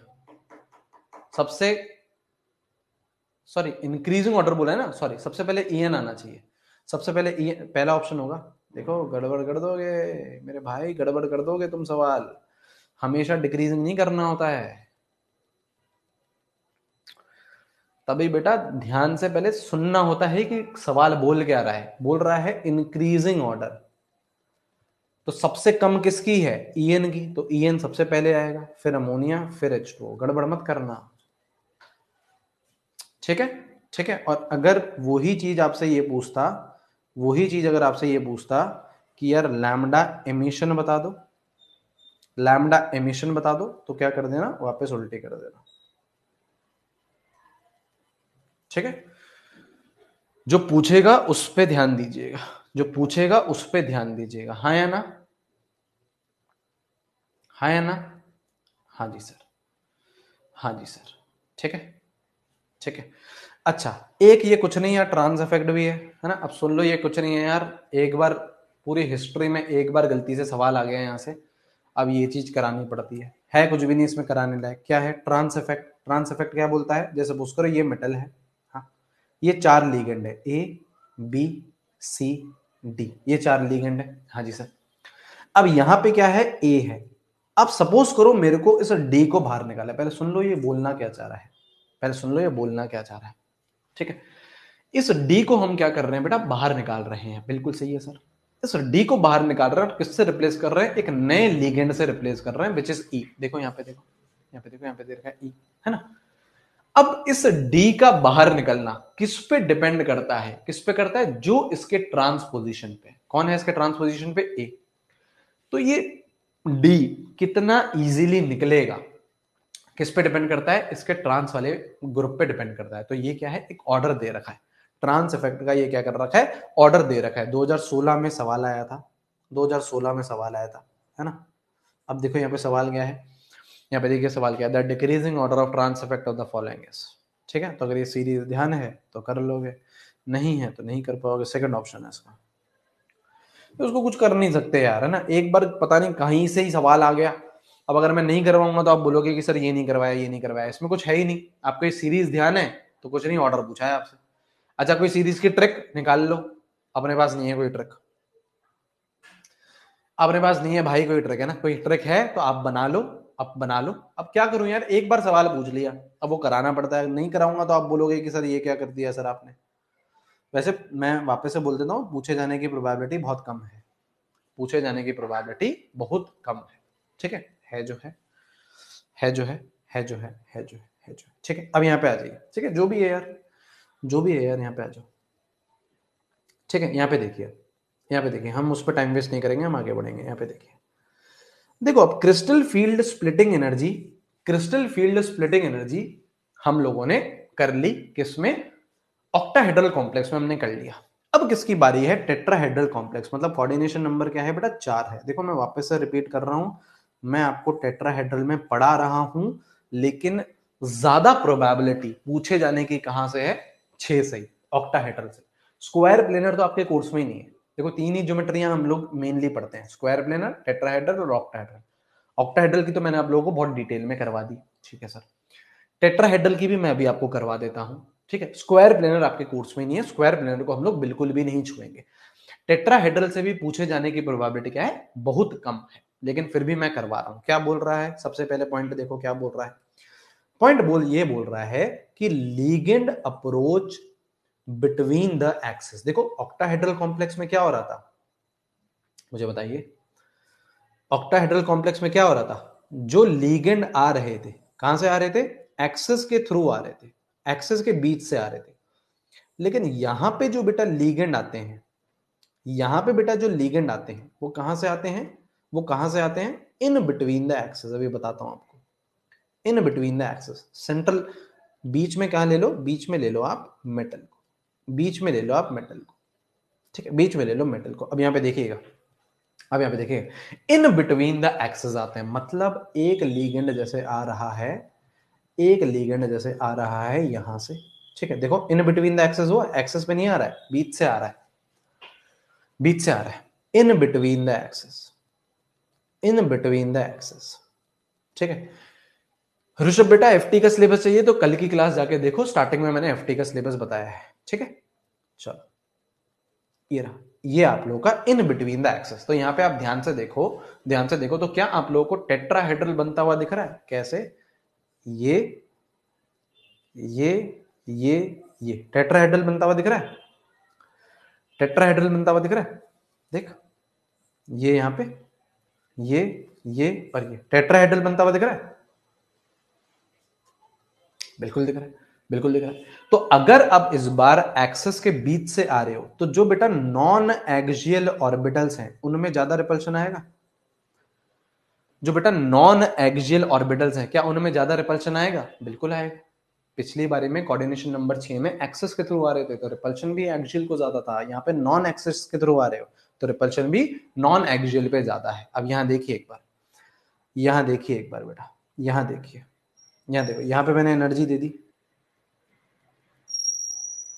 यहाँ पे देखिए मैंने एनर्जी दे दी, यहाँ पे देखो देखो, यहाँ पे डीजनरेट ऑर्बिटल्स है। ये डीजनरेट ऑर्बिटल्स है हाँ इन एब्सेंस ऑफ़ लीगेंड अब क्या होगा? लीगेंड अप्रोच करेगा। लीगेंड अप्रोच करेगा। सबकी एनर्जी क्या करेगी? इंक्रीज करेगी। सबकी एनर्जी क्या करेगी? इंक्रीज करेगी। लेकिन अभी भी डी जनरेट ऑर्बिटल्स हैं, है ना? These are five degenerate orbitals लेकिन अब क्या आ चुका है? अब क्या आ चुका है? अब लीगेंड आ चुका है। In presence of ligand. In presence of ligand. अब लीगेंड आ चुका है। अब क्या होगा? टूटेगा। अब ज़्यादा रिपल्शन किसको मिल रहा है? अब ज़्यादा रिपल्शन किसको मिल रहा है? ज़्यादा रिपल्शन मिल रहा है नॉन एक्सियल को। तो ऊपर कौन जाएँगे? ऊपर कौन जाएँगे? तीन, जो कि नॉन एक्सियल है। नॉन एक्सियल है। और नीचे कौन आएँगे? दो बचे हुए, जो कि जो कि एक्सियल है। जो कि कौन है? एक्सियल है। समझे? समझे? और इनका नाम क्या हो जाता है? हाँ जी हटा दो यहाँ से। इनको बेटा इज़्ज़त नहीं देते। इनको बेटा इज़्ज़त नहीं देते। इनकी कोई इज़्ज़त नहीं है। इनमें बस जी हटा दो। इनको क्या बोलो? इसको टी बोलो, इसको ई बोलो। ठीक है? टी और ई बोलते हैं। टी टू जी और ई जी नहीं बोलते हैं। ठीक है? ठीक है? इतने इंपॉर्टेंट भी नहीं है ना बेटा? इंपॉर्टेंट कौन सा था बेटा? ऑक्टा ऑक्टाहेड्रल वाला। तो उसको उधर बेटा इज़्ज़त दी थी अपन ने। उधर इज़्ज़त दी थी। है ना ये हो गया आपका बैरी सेंटर बेटा। ये हो गया बेटा बैरी सेंटर यहाँ पे ये वाला गैप को मैं क्या बोल देता हूँ बेटा? C F S C delta T बोल दो। क्या बोल देते बेटा? डेल्टा टी डेल्टा टी क्या हो जाएगा बेटा? C F S C for for tetrahedral for tetrahedral ठीक है? अच्छा ये वाले गैप भी लिख लो, ये वाले गैप भी लिख लो, ये वाले गैप भी लिख लो, ये वाला गैप कितना हो जाता है? ये हो जाता है प्लस का 0.4 डेल्टा टी प्लस का 0.4 डेल्टा टी या फिर और ये वाला कितना हो जाता है? माइनस का 0.6 डेल्टा टी डेल्टा नॉट नहीं डेल्टा टी डेल्टा टी ना टेट्राहेड्रल तो डेल्टा टी बताइए।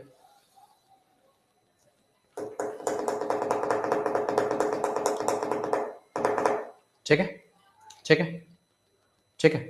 अच्छा इसमें कुछ नहीं, एक दो बातें लिख लीजिए एक दो बातें लिख लीजिए, उसके बाद ये वाला जो टॉपिक है सीएफटी वो आपका खत्म है। सर, कौन सा टॉपिक है? एक तो एक तो देखो, एक था डेल्टा नॉट एक था डेल्टा टी उन दोनों में से बड़ा कौन है?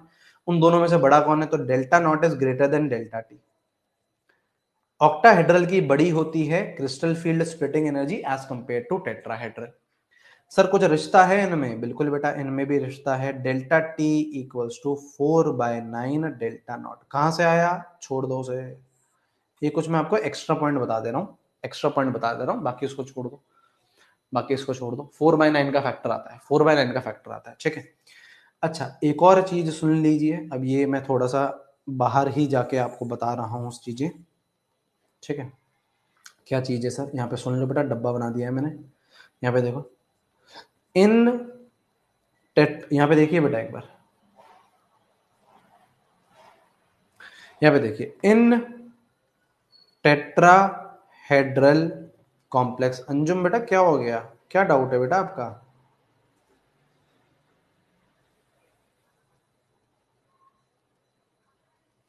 हम्म? क्यों परेशान हो रहे हो बेटा? In tetrahedral complex, no pairing.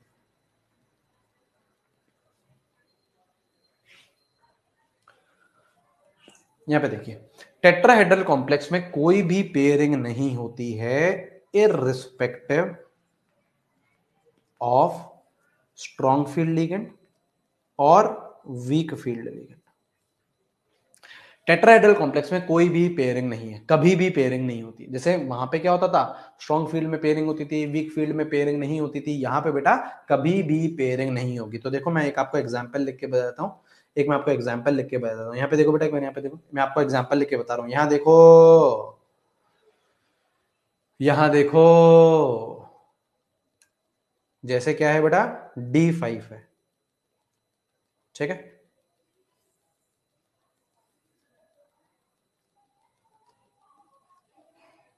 ठीक है? यहाँ देखो।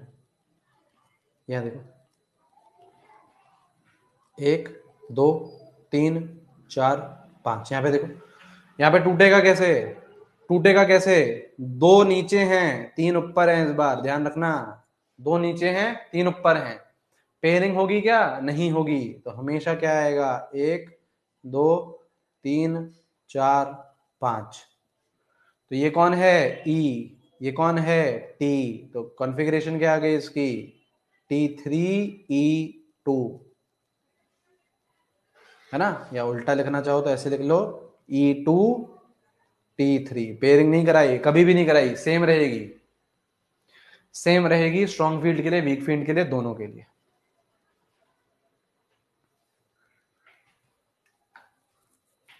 ठीक है? ठीक है नहीं है? ठीक है नहीं है?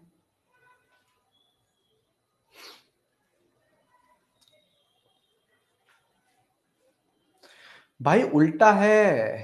टेट्राहेड्रल पढ़ रहे हैं। टेट्राहेड्रल पढ़ रहे हैं तो ई नीचे रहता है। ई दो होते हैं। टी ऊपर रहता है। तीन तीन रहते हैं। तो इसी तरीके से तो आएगा। टेट्राहेड्रल की पढ़ा रहा हूँ आपको। ऑक्टाहेड्रल की नहीं पढ़ा रहे हैं। ठीक है? अब आ जाओ बेटा आइसोमेरिज्म पे। लास्ट टॉपिक है आपका। लास्ट टॉपिक है आपका। आइए।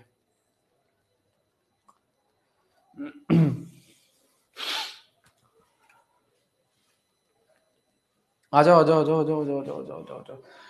आ जाइए आ जाइए आ जाइए आ जाइए आ जाइए आ जाइए आ जाइए आ जाइए आ जाइए। ठीक है।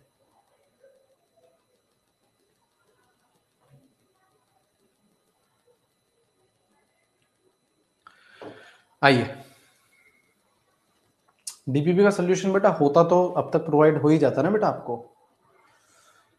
है ना? आप बताओ। आप बताओ बेटा। ठीक है। अब हमने ठीक है। कब होगी सर क्लास? क्लास बेटा अभी होगी। चलिए बेटा, आइए। लास्ट टॉपिक है, पिंटू दास जी। पिंटू दास, कहा जाओगे बेटा? ए? कहा जाना है बेटा तुम्हें? पिंटू? हम्म? डॉक्टर पिंटू। बेटा, देखो, जिनका भी नाम बेटा पिंटू, चिंटू, ऐसा है ना बेटा? तो सबसे पहला बेटा वो काम, या तो देखो आपका ये पेट नेम है। है ना? तो तो कोई दिक्कत की बात नहीं। मतलब पेट नेम मतलब आपको प्यार से घर में ये बुलाते हैं। ठीक है? है ना? तो तो कोई दिक्कत की बात नहीं। राजू हाँ राजू बेटा, सही है है ना? तो तो कोई दिक्कत की बात नहीं है। अगर पेट नेम है, घर पे बेटा प्यार से बुलाते हैं राजू, दूध ले आओ। ऐसे करके बुलाते हैं तो इसमें कोई दिक्कत की बात नहीं है। ठीक है? लेकिन क्या है, अगर ये आपका रियल नाम है तो बेटा फिर थोड़ी सी गड़बड़ की बात है। कैसे, सर? फिर क्या होगा? फिर कोई भी पेशेंट बेटा आपको सीरियसली नहीं लेगा। सपोज़ करो बेटा, आप आप खुद सोचो बेटा, आप आप खुद सोचो, आप किसी डॉक्टर के जा रहे हो, वैसे तो भगवान करें, आप कभी डॉक्टर के नहीं जाएँ, आप हमेशा हेल्दी रहें, स्वस्थ रहें। लेकिन सपोज़ करो आप किसी डॉक्टर को जा रहे हो, आप और उस डॉक्टर का नाम है doctor Chintu M B B S M D है ना? अब आगे कितनी ही बेटा स्पेसिफिकेशन लगा दो।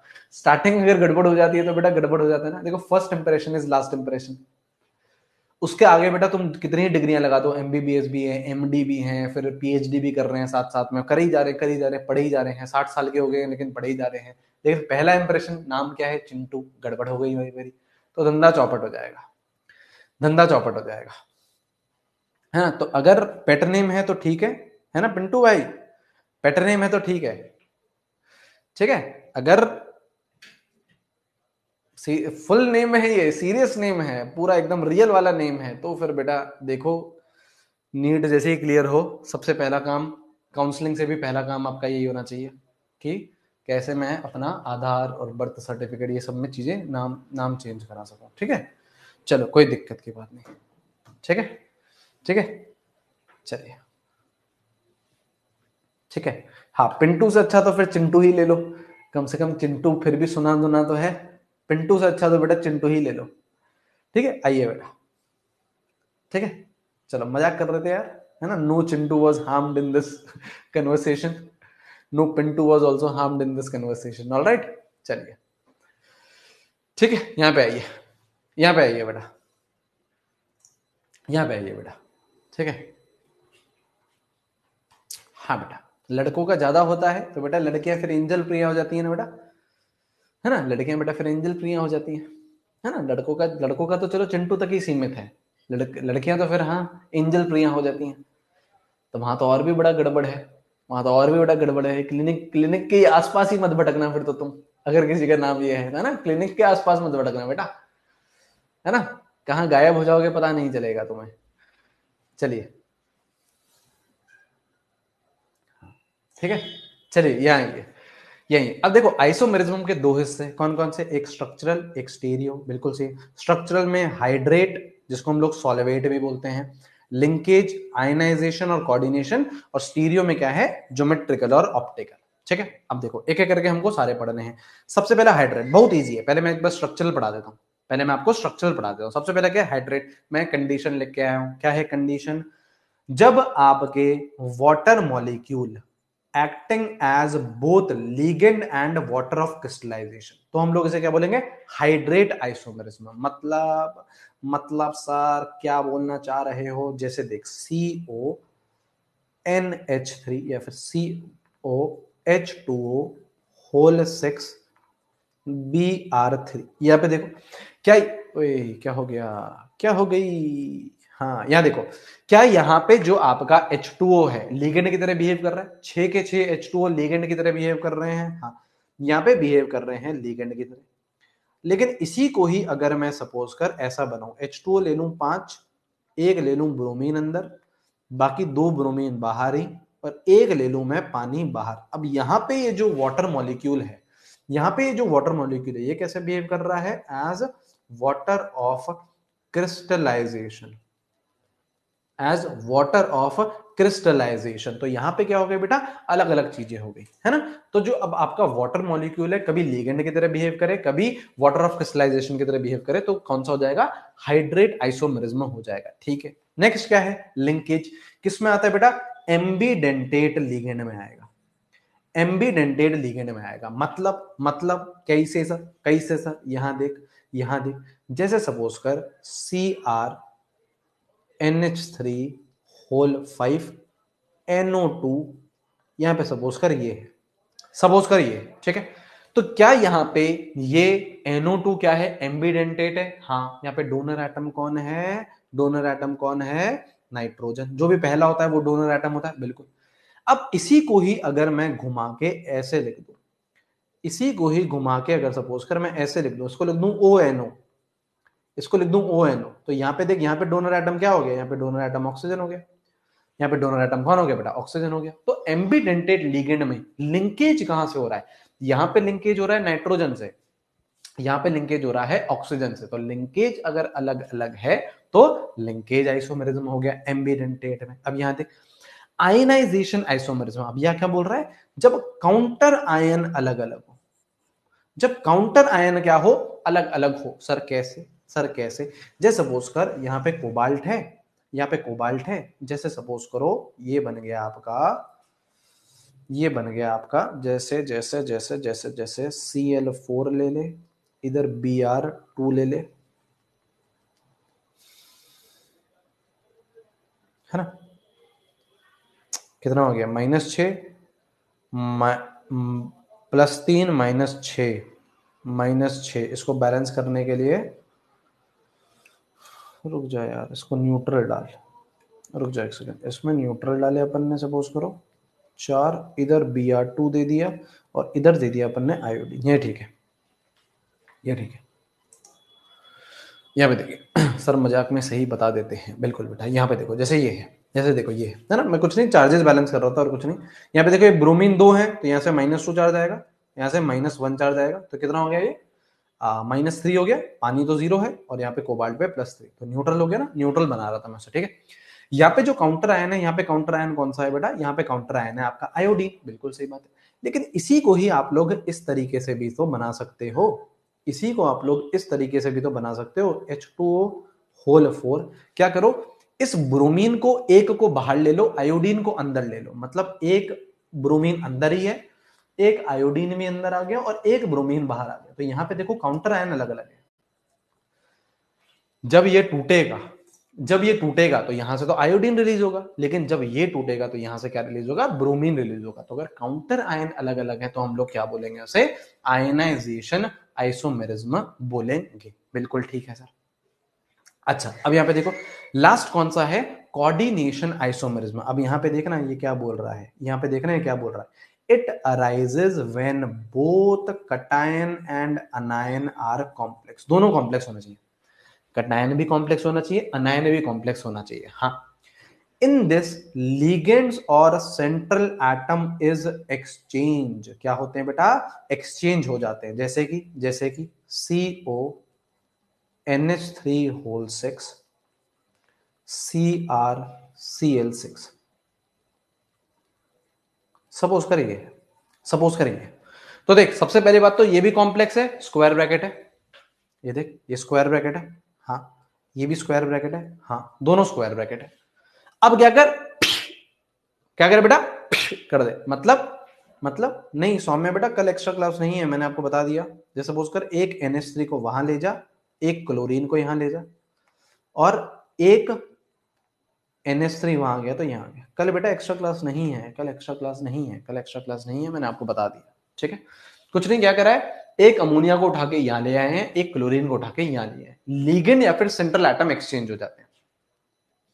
इसको ऐसे भी कर सकते हैं। देखो, इसको एक और करके दिखाऊँ, एक और करके दिखाऊँ। सपोज़ कर मैंने, यहाँ पे तो मैंने लीगेंड को एक्सचेंज करा।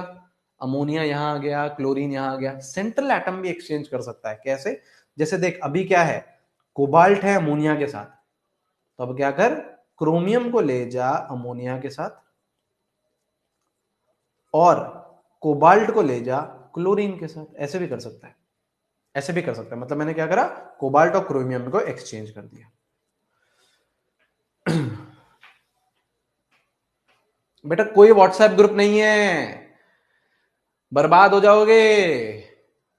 मैं पहले ही बता दूँ, कोई व्हाट्सएप ग्रुप नहीं है। सिलेक्शन अगर व्हाट्सएप ग्रुप से होना होता तो बेटा हो चुका होता। दस व्हाट्सएप ग्रुप में तो एडेड हो गए बीस टेलीग्राम ग्रुप में एडेड हो गए कोई व्हाट्सएप ग्रुप नहीं है। 2024 का टारगेट 2025 में बनाना है तो जाके ऐड हो जाइए। जिस ग्रुप में ऐड होना है, हो जाओ। ठीक है? लेकिन अगर टारगेट बेटा 25 है 26 है, या फिर 2030 है, ये टारगेट है तो आप करिए अपनी मनमाजी। ठीक है? अपनी मनमाजी करिए हमको क्या है बेटा? हमको क्या है? देखो हाँ, आप समझिए इस बात को टीचर का कुछ नहीं जाता है। क्या हमारा क्या ये लास्ट सीज़न है क्या? 2024 के बाद हम क्या रिटायरमेंट हो रहे हैं क्या? नहीं नहीं नहीं अब तो बस हो गया बहुत बहुत पेन किस लिया है अब नहीं पढ़ाएँगे हम। ऐसा हो रहा है? नहीं हो रहा है। हम तो 2025 में भी पढ़ाएँगे 26 में भी पढ़ाएँगे 2000 शायद जब भी जब भी जब तक पढ़ाएँगे जब तक पढ़ाएँगे। तो तो आपको डिसीज़न लेना है कि आपको सिलेक्शन इस साल लेना है अगले साल लेना है या लेना ही नहीं है, वो डिसीज़न आपको लेना है है ना? हमारा क्या है? हम तो पढ़ा ही रहे हैं। तो आप लोग देखिए कि आप लोगों को इन्हीं में ही फंसे रहना है या नहीं रहना है, ठीक है? हार्मोन्स पे कंट्रोल रखिए थोड़ा। हार्मोन्स में कंट्रोल रखिए थोड़ा, है ना? जो इधर उधर फुदकते हैं ना हार्मोन है ना? इस इस उम्र में, उसको थोड़ा सा कंट्रोल में लाइए। ठीक है, दो दो मैसेज क्या देख लिए किसी के, फैल गए। इतनी इतनी वैल्यू है क्या बेटा अपनी, नहीं ना? इससे ज़्यादा वैल्यू है अपनी। किसी के दो मैसेज आए कि वहाँ पे अपन फ्लैट हो गए, है ना? थोड़ा सख्त बनिए बाद में जब सही समय आएगा, तब पिघल जाना। मना नहीं कर रहे हैं। मना नहीं कर रहे हैं कि नहीं नहीं, पिघलना ही नहीं है। कभी नहीं पिघलना है। नहीं, पिघलेंगे, लेकिन बाद में सही इंसान के लिए, सही समय पे पिघलेंगे। तब होगी ना बात। ठीक है? हाँ अब आ जाओ यहाँ पे। ठीक है? चलो, अब आ जाओ, देखो स्टीरियो आइसोमेरिज्म यहाँ पे देखिए स्टीरियो आइसोमेरिज्म स्टीरियो आइसोमेरिज्म में हम लोग दो पढ़ने वाले हैं। क्या पढ़ने वाले हैं? एक ज्योमेट्रिकल आइसोमेरिज्म एक ऑप्टिकल आइसोमेरिज्म यहाँ पे देखिए, जो ज्योमेट्रिकल आइसोमेरिज्म है, वो किससे आता है? Occurs because of different angle अभी दिखाऊँगा। जैसे एंगल चेंज होता है, जैसे ही एंगल चेंज होता है तो क्या आता है? जीआई आता है। जैसे एंगल चेंज होता है तो क्या आता है? जीआई आता है, अभी दिखाऊँगा। और ऑप्टिकल आइसोमेरिज्म कब आता है? जब कोई भी पीओएस नहीं हो और कोई भी सीओएस नहीं हो। POS is plane of symmetry COS is centre of symmetry ठीक है? आएगा अभी एक एक करके आएगा, अभी सुनिए यहाँ पे, सुनिए यहाँ पे यहाँ पे देखिए। टर्मिनोलॉजी हम लोग क्या मेंटेन करने वाले एम से मैं आपको क्या बोलूँगा कि मेटल एटम है। अगर कहीं पे भी A B C D E F ऐसे नॉर्मल लिख रखा है तो these are monodentate ligand monodentate ligand जहाँ पे डेंटिसिटी जहाँ पे डेंटिसिटी क्या है? एक जहाँ पे डेंटिसिटी क्या है बेटा? एक है। बिल्कुल सही है। डेंसिटी डेंटिसिटी क्या है? एक है। तो यहाँ पे मैं इसको लिखूँगा A B C D E F लिखूँगा। ठीक है। जहाँ पे भी बेटा मैंने ए ए लिख दिया, इसका मतलब क्या है? It is symmetrical bidentate ligand symmetrical का मतलब क्या है? Same donor atom same donor at same donor atom है तो क्या है ये? सिमेट्रिकल है. जैसे जैसे आपका प्राइम एग्जांपल होता है ईएन इथाइलिन डायमीन ऐसा होता है।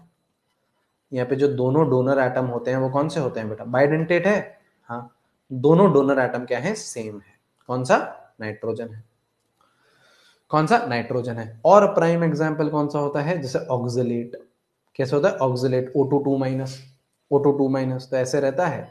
ऐसे रहता है। C H double bond O O minus C double bond O O minus यहाँ पे जो डोनर एटम कौन से होते हैं? ये ओ माइनस वाले होते हैं। कौन से होते हैं बेटा? ओ माइनस वाले होते हैं। ठीक है तो अगर डोनर एटम सेम है तो हम उसे क्या बोलेंगे? सिमेट्रिकल लेकिन अगर बेटा डोनर एटम अलग है। तो मैं उसे क्या बोलूँगा? अनसिमेट्रिकल बाइडेंटेड ए बी से रिप्रेजेंट करूँगा different donor atom different donor atom अब यहाँ पे देखिएगा एक बार। ठीक है? अब यहाँ पे देखिएगा। ये टर्मिनोलॉजी चलने वाली है। अब यहाँ देखो। सबसे पहले आ जाओ कोऑर्डिनेशन नंबर चार। हमको ऑप्टिकल आइसोमेरिज्म दो ही चीज़ों में पढ़ना है। कोऑर्डिनेशन नंबर चार में और कोऑर्डिनेशन नंबर छह में। इसके अलावा हम लोग को कुछ नहीं पढ़ना है। ठीक है? सबसे पहले आइए कोऑर्डिनेशन नंबर चार, किस ज्योमेट्री की बात कर रहे हैं? ये हम बात कर रहे हैं टेट्राहेड्रल ज्योमेट्री की। ये हम बात कर रहे हैं टेट्राहेड्रल ज्योमेट्री की, ठीक है? ये हम बात कर रहे हैं टेट्राहेड्रल ज्योमेट्री की, ठीक है? सबसे पहले आप लोग इसमें लिखो कि टेट्राहेड्रल ज्योमेट्री में कोई भी ज्योमेट्रिकल आइसोमेरिज्म नहीं होता। नो जीआई जीआई होता ही नहीं है। सर क्यों नहीं होता है? इसका रीजन क्यों? नितेश भैया की आर्मी बेटा रीजन पे, ये इसको कैसे लिखते हैं, चलो। रीजन सीखते हुए चलती है। यहाँ पे देखिए। मेरी बात सुनिए। जी आई क्यों आता है? ज्योमेट्रिकल आइसोमेरिज्म क्यों आता है? यहाँ पे मैंने लिखा है ज्योमेट्रिकल आइसोमेरिज्म आता है कब? जब आप लोगों के डिफरेंट एंगल होते हैं, लेकिन यहाँ पे कोई सा भी एंगल डिफरेंट नहीं है। इस एंगल ये एंगल नापने जाएँगे तो 109 डिग्री 28 मिनट ये एंगल नापने जाएँगे तो 109 डिग्री 28 मिनट। ये एंगल नापने जाएँगे तो सारे एंगल क्या हैं? सेम है। सारे एंगल क्या हैं? सेम है। और जब सेम एंगल है तो कोई भी जीआई नहीं आएगा। All angles all angles same all angles same सारे एंगल क्या हैं? सेम है। सारे एंगल क्या है? सेम है। कोई जी आई नहीं आता है। ठीक है? ठीक है सर तो और सर ऑप्टिकल आइसोमेरिज्म आता है? ऑप्टिकल आइसोमेरिज्म आता है? आता है। सिर्फ़ एक केस में आता है। Optical isomerism only in only in M A B C D मतलब जब चारों लीगेंड अलग हो, जब चारों लीगेंड अलग हो जब चारों लीगेंड अलग हो तो ही आप लोगों का ऑप्टिकल आइसोमेरिज्म आता है। कैसे? इस केस में। इस केस में। जैसे सपोज़ करो, इस केस में। ये आपका मेटल हो गया। यहाँ पे ये ए यहाँ पे ये बी यहाँ पे ये सी यहाँ पे डी चारों क्या है? अलग अलग हो। तो ही आप लोगों का ऑप्टिकल आइसोमेरिज्म आता है, क्योंकि यहाँ पे कोई भी पीओएस भी नहीं आती है, कोई पीओएस नहीं आती कोई भी सीओएस नहीं आती बिल्कुल, आप लोग इसको कायरल भी बोल सकते हो। बिल्कुल। बिल्कुल बिल्कुल। कायरल भी आप लोग एक तरीके से बोल सकते हो, है ना? ये एक तरीके से बोल सकते हो कि कायरल है, बिल्कुल। है ना? जब आपके चारों ग्रुप क्या है अलग अलग है। चारों ग्रुप क्या है अलग अलग है। कोई भी सेम लीगेंड नहीं है, कोई भी सेम लीगेंड नहीं है, कोई भी सेम लीगेंड नहीं है। ठीक है? ठीक है, सर। ठीक है, सर। टेट्राहेड्रल का समझ में आया। अब आ जाओ स्क्वायर प्लेनर पे। कोऑर्डिनेशन नंबर चार के साथ दो ज्योमेट्री कोऑर्डिनेशन नंबर चार के साथ बेटा दो ज्योमेट्री टेट्राहेड्रल समझ लिया। अब आ जाओ ऑप्टिकल आइसोमेरिज्म। सबसे पहले यहाँ पे ये लिखेंगे, optical iso sorry square planar में नो ऑप्टिकल आइसोमेरिज्म अब क्यों? हमको रीजन जानना है, क्यों? देख यहाँ पे, जैसे सपोज़ कर स्क्वायर प्लेनर तो मैंने ले लिया एम यहाँ पे सपोज़ कर एक लीगेंड यहाँ पे सपोज़ कर दूसरा लीगेंड यहाँ पे सपोज़ कर तीसरा लीगेंड यहाँ पे सपोज़ कर चौथा लीगेंड स्क्वायर प्लेनर में ऑलवेज पीओएस होती है। सर, कैसे? हमेशा क्या होती है इसमें? पीओएस होती है। अब कैसे होती है? मैं कोई यार कुछ चीज़ देख रहा हूँ। कि चीज़ देख रहा हूँ कैसे? जैसे चल, यही आ जाए यार, फ़ोन से ही देख लेते हैं। अच्छा फ़ोन से ही देख लेते हैं। ये पे देख। जैसे ये क्या है बेटा आपका? ये क्या है आपका? स्क्वायर प्लेयर है, एक तरीके से। स्क्वायर नहीं, चलो ये रेक्टेंगल है। ये रेक्टेंगल है, कोई दिक्कत नहीं स्क्वायर मान लो आप लोग उसको, है ना? यहाँ पे बेटा ये जो ये सिंबल है, यहाँ पे ये देखिए ये जो सिंबल है, यहाँ पे मैं क्या मान लेता हूँ? मेटल मान लेता हूँ। यहाँ पे लिगेंड है, यहाँ पे लिगेंड है, यहाँ पे लिगेंड है, यहाँ पे लिगेंड है। क्या ये आपको एक प्लेन में दिख रहा है? मुझे बताइए। क्या ये, तभी तो प्लेनर है स्क्वायर प्लेनर है। अब अगर मैं एक ऐसी लाइन काटू, अब मैं एक ऐसी प्लेन काटू, जो इसको ऐसे काट दे, जिसको हम लोग क्या बोलते हैं? स्लाइस बोलते हैं। इस फ़ोन को एकदम एग्जैक्ट सेंटर से मैं अगर काट दू तो आगे वाला पोर्शन और पीछे वाला पोर्शन क्या बन जाएगा? मिरर इमेज बन जाएगा? मिरर इमेज बन जाएगा? ठीक है? सपोज़ कर कुछ इस तरीके का मैं एक प्लेन ले लेता हूँ। इस तरीके का मैं कुछ प्लेन ले लेता हूँ। इसको काट देता हूँ। तो यहाँ पे क्या होगा? ये जो लीगेंड है, ये बीच से कट जाएगा। ये जो लीगेंड है, ये बीच से कट जाएगा। ये जो लीगेंड है, बीच से कट जाएगा। ये जो लीगेंड है, ये बीच से कट जाएगा। सारे लीगेंड क्या करेंगे? बीच से कट जाएँगे। तो हमेशा यहाँ पे पीओएस होती है। उस पीओएस को हम क्या बोलते हैं? स्लाइस बोलते हैं। तो हमेशा अगर पीओएस है तो ऑप्टिकल आइसोमेरिज्म नहीं होगा। ऑप्टिकल आइसोमेरिज्म नहीं होगा। अब ज्योमेट्रिकल आइसोमेरिज्म के लिए आजा केस करते हैं। जी आई के लिए हम केस करते हैं, और ज्योमेट्री क्या है हमारी? स्क्वायर प्लेनर ज्योमेट्री क्या है हमारी? स्क्वायर प्लेनर स्क्वायर प्लेनर ठीक है, अब आजा एक एक करके केस करते हैं। सबसे पहला केस क्या आता है? सबसे पहला केस आता है एम ए फोर चारों लिगेंड क्या है? सेम है। चारों लिगेंड क्या है? सेम है। तो देखो ये होगा एम यहाँ पे, यहाँ ए यहाँ ए यहाँ ए यहाँ ए देखो देखो तो यहाँ पे क्या सारे एंगल सेम है? देखो ये 90 का, ये 90 का, ये 90 का, ये 90 का। और सारे ए ए ए हैं। तो किसी को इधर उठा पटक भी नहीं कर सकते तो कोई जी आई नहीं। एंगल चेंज हुआ ही नहीं। एंगल चेंज हुआ ही नहीं। कोई जी आई नहीं आया। कोई जी आई नहीं है second case M A three B M A three B तो यहाँ पे देख, यहाँ पे एम ये ए ये ए ये ए और यहाँ पे बी अब यहाँ पे देख, यहाँ पे देख। अब यहाँ पे देखो, ये जो अलग है, इसको एक बार पकड़ ले। यहाँ पे देखना। क्या इसका, इसके साथ एंगल 90 डिग्री है? मतलब बी और ए के बीच में एंगल 90 डिग्री है? हाँ एक एंगल तो 90 डिग्री है। और इस बी और इस ए के बीच में क्या है? 180 डिग्री है। हाँ तो एक एंगल 90 का आ रहा है, एक 180 का आ रहा है, ठीक है।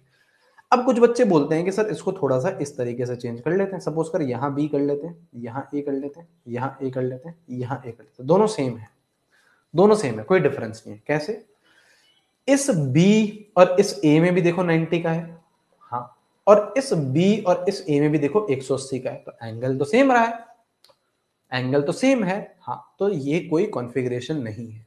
ये कोई अलग कॉन्फ़िगरेशन नहीं है, ये सेम ही कॉन्फ़िगरेशन है मतलब कोई भी जीआई नहीं है। कोई भी जीआई नहीं है। एंगल अगर अलग नहीं आ रहे हैं तो बेटा आपका जीआई नहीं आएगा। एंगल अलग आ गया तो जीआई आएगा, जैसे इस केस में आता है। जैसे इस केस में आता है, यहाँ पे देखा। जैसे देख, इस केस में आता है, यहाँ पे देखा। यहाँ पे देख। जैसे सपोज़ कर M A two B two है। M A two B two है। अब यहाँ पे देखना, जैसे ये रहा एम ये ए ये ए ये बी ये बी एक ये है। हाँ है ना? तो यहाँ पे देख बी बी के बीच में कौन सा एंगल है? बी बी के बीच में कौन सा एंगल है? 90 डिग्री का एंगल है। और अगर इसी को ही मैं ऐसे करूँ, इसी को ही मैं अगर ऐसे करूँ तो यहाँ पे देख बी बी के बीच में कितना हो गया? एक सौ अस्सी का हो गया। यहाँ पे बी बी के बीच में कितना हो गया? एक सौ अस्सी का हो गया। तो यहाँ पे जहाँ पे 90 डिग्री का एंगल है, इसको बोलते हैं सिस, यहाँ पे जहाँ पे 180 डिग्री का एंगल है, इसको बोलते हैं ट्रांस।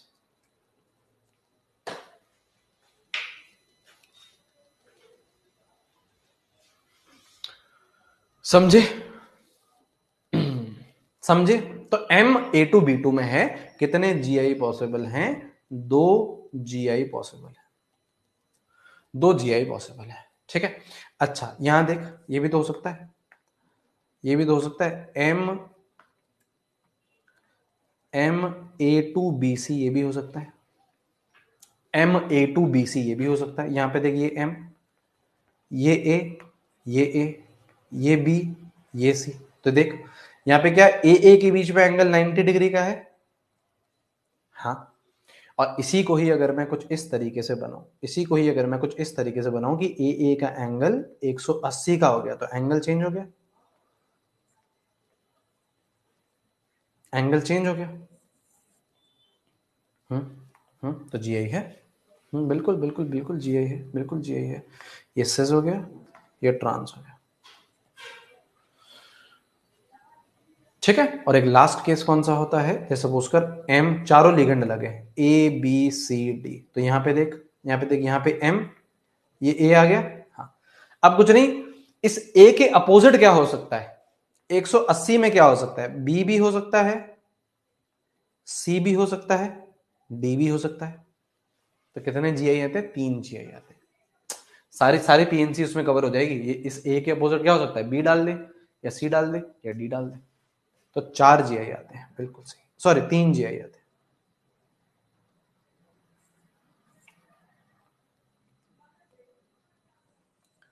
हंसती रहे तू, हंसती रहे। है ना बेटा?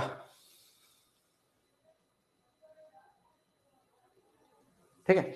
अच्छा यहाँ पे देख सपोज़ कर ऐसा कुछ केस है। M A A two M A A two मतलब बाइडेंटेट है सिमेट्रिकल है। बाइडेंटेट है सिमेट्रिकल है। तो यहाँ पे देख कुछ इस तरीके के बनेगा। यहाँ पे एम यहाँ ए यहाँ ए इन, ऐसा देख, ये है, देख देख। ये देख, ये ए ये ए ठीक है? ठीक है? ठीक है? अच्छा। अब यहाँ देख, ये ए ये ए तो मुझे बताओ मुझे बताओ, अगर मैं इसको घुमा दू तो भी तो सेम रहेगा? ए ए तो है यार, अगर मैं इसको घुमाऊँगा तो भी तो ए ए रहेगा। तो कोई जी आई दिख रहा है क्या? कोई जी आई दिख रहा है क्या? कोई जी आई नहीं है। कोई जी आई नहीं है। लेकिन अगर मैं इसको ऐसे कर दू M A B two M A B two ऐसे कर दू तो यहाँ पे देख, यहाँ पे एम यहाँ ए यहाँ बी, यहाँ ए, यहाँ बी। तो ये देख, क्या इसमें एंगल 90 डिग्री का दिख रहा है? ए ए के बीच में। 90 डिग्री का एंगल दिख रहा है? हाँ। और सपोज़ कर, इस एक को मैंने पलटा दिया। एक को मैंने पलटा दिया तो देख ऐसा हो जाएगा ये। ये ए, ये बी। ठीक है? और पलटा दिया तो ये ए, ये बी। ठीक है? अब देख, इस ए में और इस ए में कितने का है? 180 डिग्री का। 180 डिग्री का। हाँ बिल्कुल सही है, ये सिज है, ये ट्रांस है। सिजोट्रांस सिजोट्रांस सिजोट्रांस ठीक है? ठीक है? कोऑर्डिनेशन नंबर चार octahedral complex sorry coordination number चार स्क्वायर प्लेना कर लिया। स्क्वायर प्लेना कर लिया स्क्वायर प्लेना कर लिया। अब यहाँ आ जाओ जरा। अब यहाँ आ जाओ जरा। अब यहाँ जरा कोऑर्डिनेशन नंबर छह की चर्चा कर रहे हैं। मतलब ऑक्टाहेड्रल कॉम्प्लेक्स की बात कर रहे हैं। ठीक है? पहले हम लोग जीआई डिस्कस करने वाले पहले हम लोग जीआई डिस्कस करने वाले ठीक है? ठीक है? हम लोग क्या डिस्कस करेंगे? ज्योमेट्रिकल आइसोमेर बस आपका खत्म होने वाला है यार चैप्टर है ना? बस आपका खत्म होने वाला है चैप्टर यहाँ पे आ जाओ बेटा, अब छह की बारी हाँ बेटा, अब छह की बारी। सबसे पहली बात तो आप लोग ये देखिए कि अगर मैं छह एम एल सिक्स बनाना चाहूँ, है ना? मैं एम एल सिक्स बनाना चाहूँ सपोज़ करो छह लिगेंड है, छह के छह क्या है? मोनोडेंटेड है। तो सबसे पहली बात तो ये बनता कैसे है? यहाँ पे M L L L L ठीक है? ठीक है? यहाँ एल यहाँ एल इस तरीके का बनता है? देखो देखो तो सबसे पहली बात तो देखो, ये ऑक्टाहेड्रल आपको दिखना चाहिए। ये ऑक्टाहेड्रल आपको दिखना चाहिए। ऑक्टाहेड्रल आपको दिखना चाहिए। ऑक्टाहेड्रल आपको दिखना चाहिए। ये देखो, ये ये ठीक है, ये रहा आपका ऑक्टाहेड्रल सही? ये एक प्लेन में हो गया, ये एक प्लेन में हो गया, ऊपर एक लिगेंड नीचे एक लिगेंड ठीक है सर ठीक है सर अब देखिए, यहाँ पे भी बेटा अलग अलग केसेस है। यहाँ पे भी बेटा अलग अलग केसेस है। सबसे पहला केस है एम ए सिक्स छह लिगेंड है, छह पहले हम मोनोडेंटेट की बात कर रहे हैं। बाइडेंटेड ट्राइडेंट इन सब में जाएँगे। पहले आप मोनोडेंटेड देखिए। पहले आप मोनोडेंटेड देखिए। यहाँ पे देखिए, मोनोडेंटेड, ठीक है? यहाँ पे देखिए।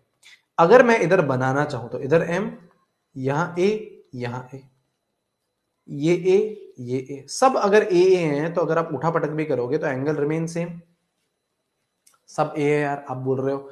इसको इसके साथ रिप्लेस कर देता हूँ। क्या फ़र्क पड़ेगा? एंगल रिमेन सेम तो no G I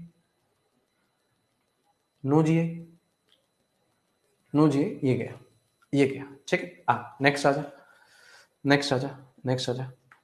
M A five B एक अलग लिगेंड है, एक अलग लिगेंड है। अब यहाँ देख, यहाँ एम यहाँ ए यहाँ ए यहाँ ए यहाँ ए यहाँ ए सपोज़ कर मैंने यहाँ पे बी दे दिया, बिल्कुल दे दी अब आप बोल रहे हो, अब आप बोल रहे हो कि यार इस बी को इस ए के साथ रिप्लेस कर देते हैं, क्या फ़र्क पड़ेगा? यहाँ ए आ गया, यहाँ बी आ गया, क्या फ़र्क पड़ेगा? कुछ फ़र्क नहीं पड़ेगा। कोई फ़र्क नहीं पड़ेगा। देख लो।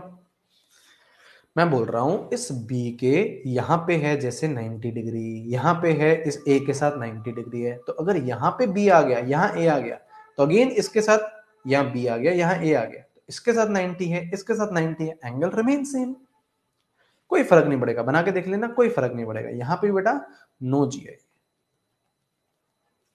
नो जी आई बिल्कुल ठीक है। लेकिन बेटा, अगर ये है ए फोर बी टू अगर बेटा ये है ए फोर बी टू यहाँ से बेटा चेंज आएँगे। कैसे? देख, सुनना आप ध्यान से, यहाँ एम अब क्या कर? बी को पकड़ लेते हैं। क्या करते हैं? बी को पकड़ लेते हैं।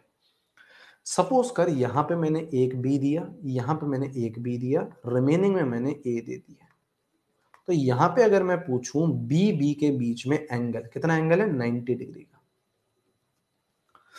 कितना एंगल है? 90 डिग्री का। और अगर उधर ही मैं दोनों बी को अपोजिट दे दूँ, दोनों बी को अपोजिट दे दूँ तो यहाँ पे एंगल कितने का हो गया? 180 का। यहाँ पे ये जो एंगल है, ये कितने का हो गया? 180 का। 180 वाले को ट्रांस बोल दे 90 वाले को सिस बोल दे। कितने जी आई दो जी आई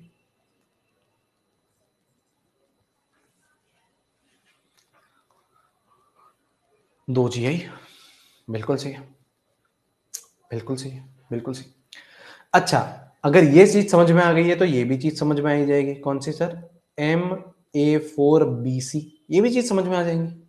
इस बार बी सी को पकड़ ले, इस बार बी सी को पकड़ ले। ये देख एम यहाँ बी यहाँ सी एंगल कितने का बी सी में है? एंगल कितने का बीसी में यहाँ पे? 90 डिग्री का। 90 डिग्री का। बिल्कुल डायरेक्टली अपोजिट दे दे बीसी को। है ना बेटा? है ना बेटा? ठीक है, मैं कुछ नहीं बोल रहा हूँ बेटा, ये लीगेंड है। ये कितना होगा? एक सौ अस्सी का। कितने का बेटा एक सौ अस्सी का। ठीक है? तो यहाँ पे जी आई है, यहाँ पे जी आई है बेटा, यहाँ पे जी आई है, दो जी आई है बेटा।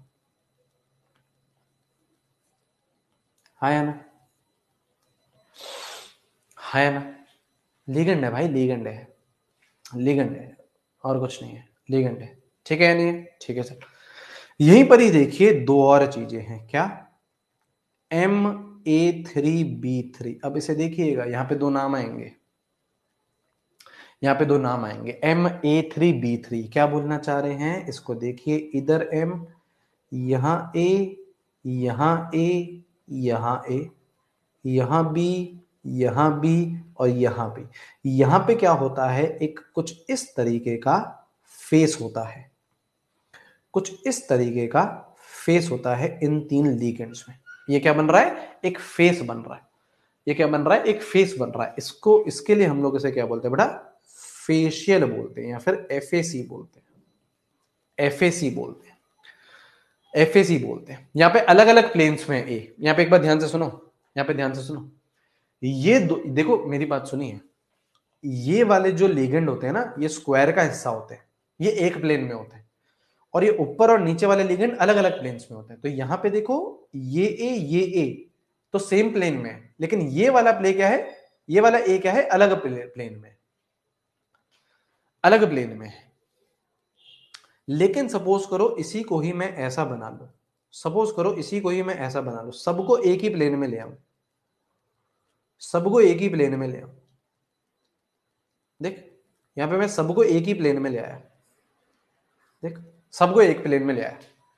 देखना भाई, यहाँ तो सारे एक क्या हैं सेम प्लेन में है। इसको मैं क्या बोलता हूँ? मेरीडोनल। मेरीडोनल। या क्या बोलता हूँ ना मर। कौन बेटा? मर। ठीक है? ठीक है? ठीक है? अच्छा ये देखो ज्योमेट्रिकल आइसोमेरिज्म हुआ। अब यहाँ देखना ऑप्टिकल आइसोमेरिज्म यहाँ पे देखना ऑप्टिकल आइसोमेरिज्म देखिए, मेरी बात सुनिए मतलब बच्चों को बहुत ज़्यादा कंफ्यूजिंग लगता है ऑप्टिकल आइसोमेरिज्म सबसे पहले बात तो क्यों? सर, इतना कंफ्यूजिंग क्यों है optical isomerism optical isomerism organic का इतना कंफ्यूजिंग नहीं है। यहाँ पे जो कोऑर्डिनेशन का है, ये ज़बरदस्त कंफ्यूजिंग है। सर, क्यों? क्यों लगता है सर इतना कंफ्यूजिंग इतना कंफ्यूजिंग ये इसलिए लगता है क्योंकि यहाँ पे यहाँ पे बहुत ज़्यादा थ्री फिगर्स होते हैं। तो यहाँ पे बच्चे को पीओएस देखना सीओएस देखना बहुत ज़्यादा दिक्कत होती है। तो अपन ने क्या करा है? अपन ने ट्रिक बना लिया अपन ने ट्रिक बना लिया अपन को ट्रिक अप्लाई करनी है। इस ट्रिक अप्लाई करोगे हंड्रेड परसेंट आपका सवाल सही होगा। क्या है ट्रिक क्या है ट्रिक यहाँ पे देख, दो केसेस है। सबसे पहली बात, अगर सपोज़ कर अपने पास है मोनोडेंटेट लिगेंड यहाँ पे देख लो एक बार, रुक जाओ। यहाँ पे देखिए एक बार बेटा, यहाँ पे देखिए। यहाँ पे देखिए। सपोज़ कर अपने पास है मोनोडेंटेट लिगेंड तो आपको क्या करना है? सबसे पहली बात बेटा एक्स है। सर एक्स ही क्यों है? बेटा एक्स तो आएगा ही बेटा फेब्रवरी का महीना है। क्या बेटा? X is total different monodentate ligand कितने अलग मोनोडेंटेड लीगेंड है? वो है एक्स और अगर एक्स की वैल्यू तीन या तीन से बड़ी है अगर एक्स की वैल्यू तीन या फिर तीन से बड़ी है तो ऑलवेज ऑप्टिकली एक्टिव ठीक है? Except M A four B C ठीक है? इसके अलावा, देखो यहाँ पे तीन लीगेंड आपको दिखने चाहिए। तीन अलग अलग मोनोडेंटेड लिखने चाहिए। कौन सा? एक ए है, एक बी है, एक सी है। तो एक्स की वैल्यू तीन है, लेकिन ये ऑप्टिकली एक्टिव नहीं है। इसके अलावा बाकी सारे रहेंगे। कैसे? अभी मैं बताता हूँ यहाँ देख।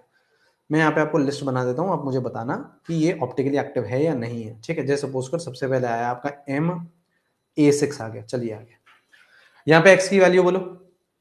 अरे ए की तो लीगेंड है। हाँ तो इनएक्टिव तीन होने चाहिए बेटा। तीन या तीन से अधिक। तीन या तीन से अधिक। ठीक है? M A five B X की वैल्यू बोलो। एक्स क्या है? कितने मोनोडेंटेड लीगेंड हैं अलग अलग तरीके के? तो एक ए है, एक बी है। तो यहाँ पे कितने हैं? दो हैं। तो again inactive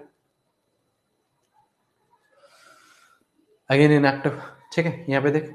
M A four B two यहाँ पे बता कितने हैं? एक्स की वैल्यू बोल।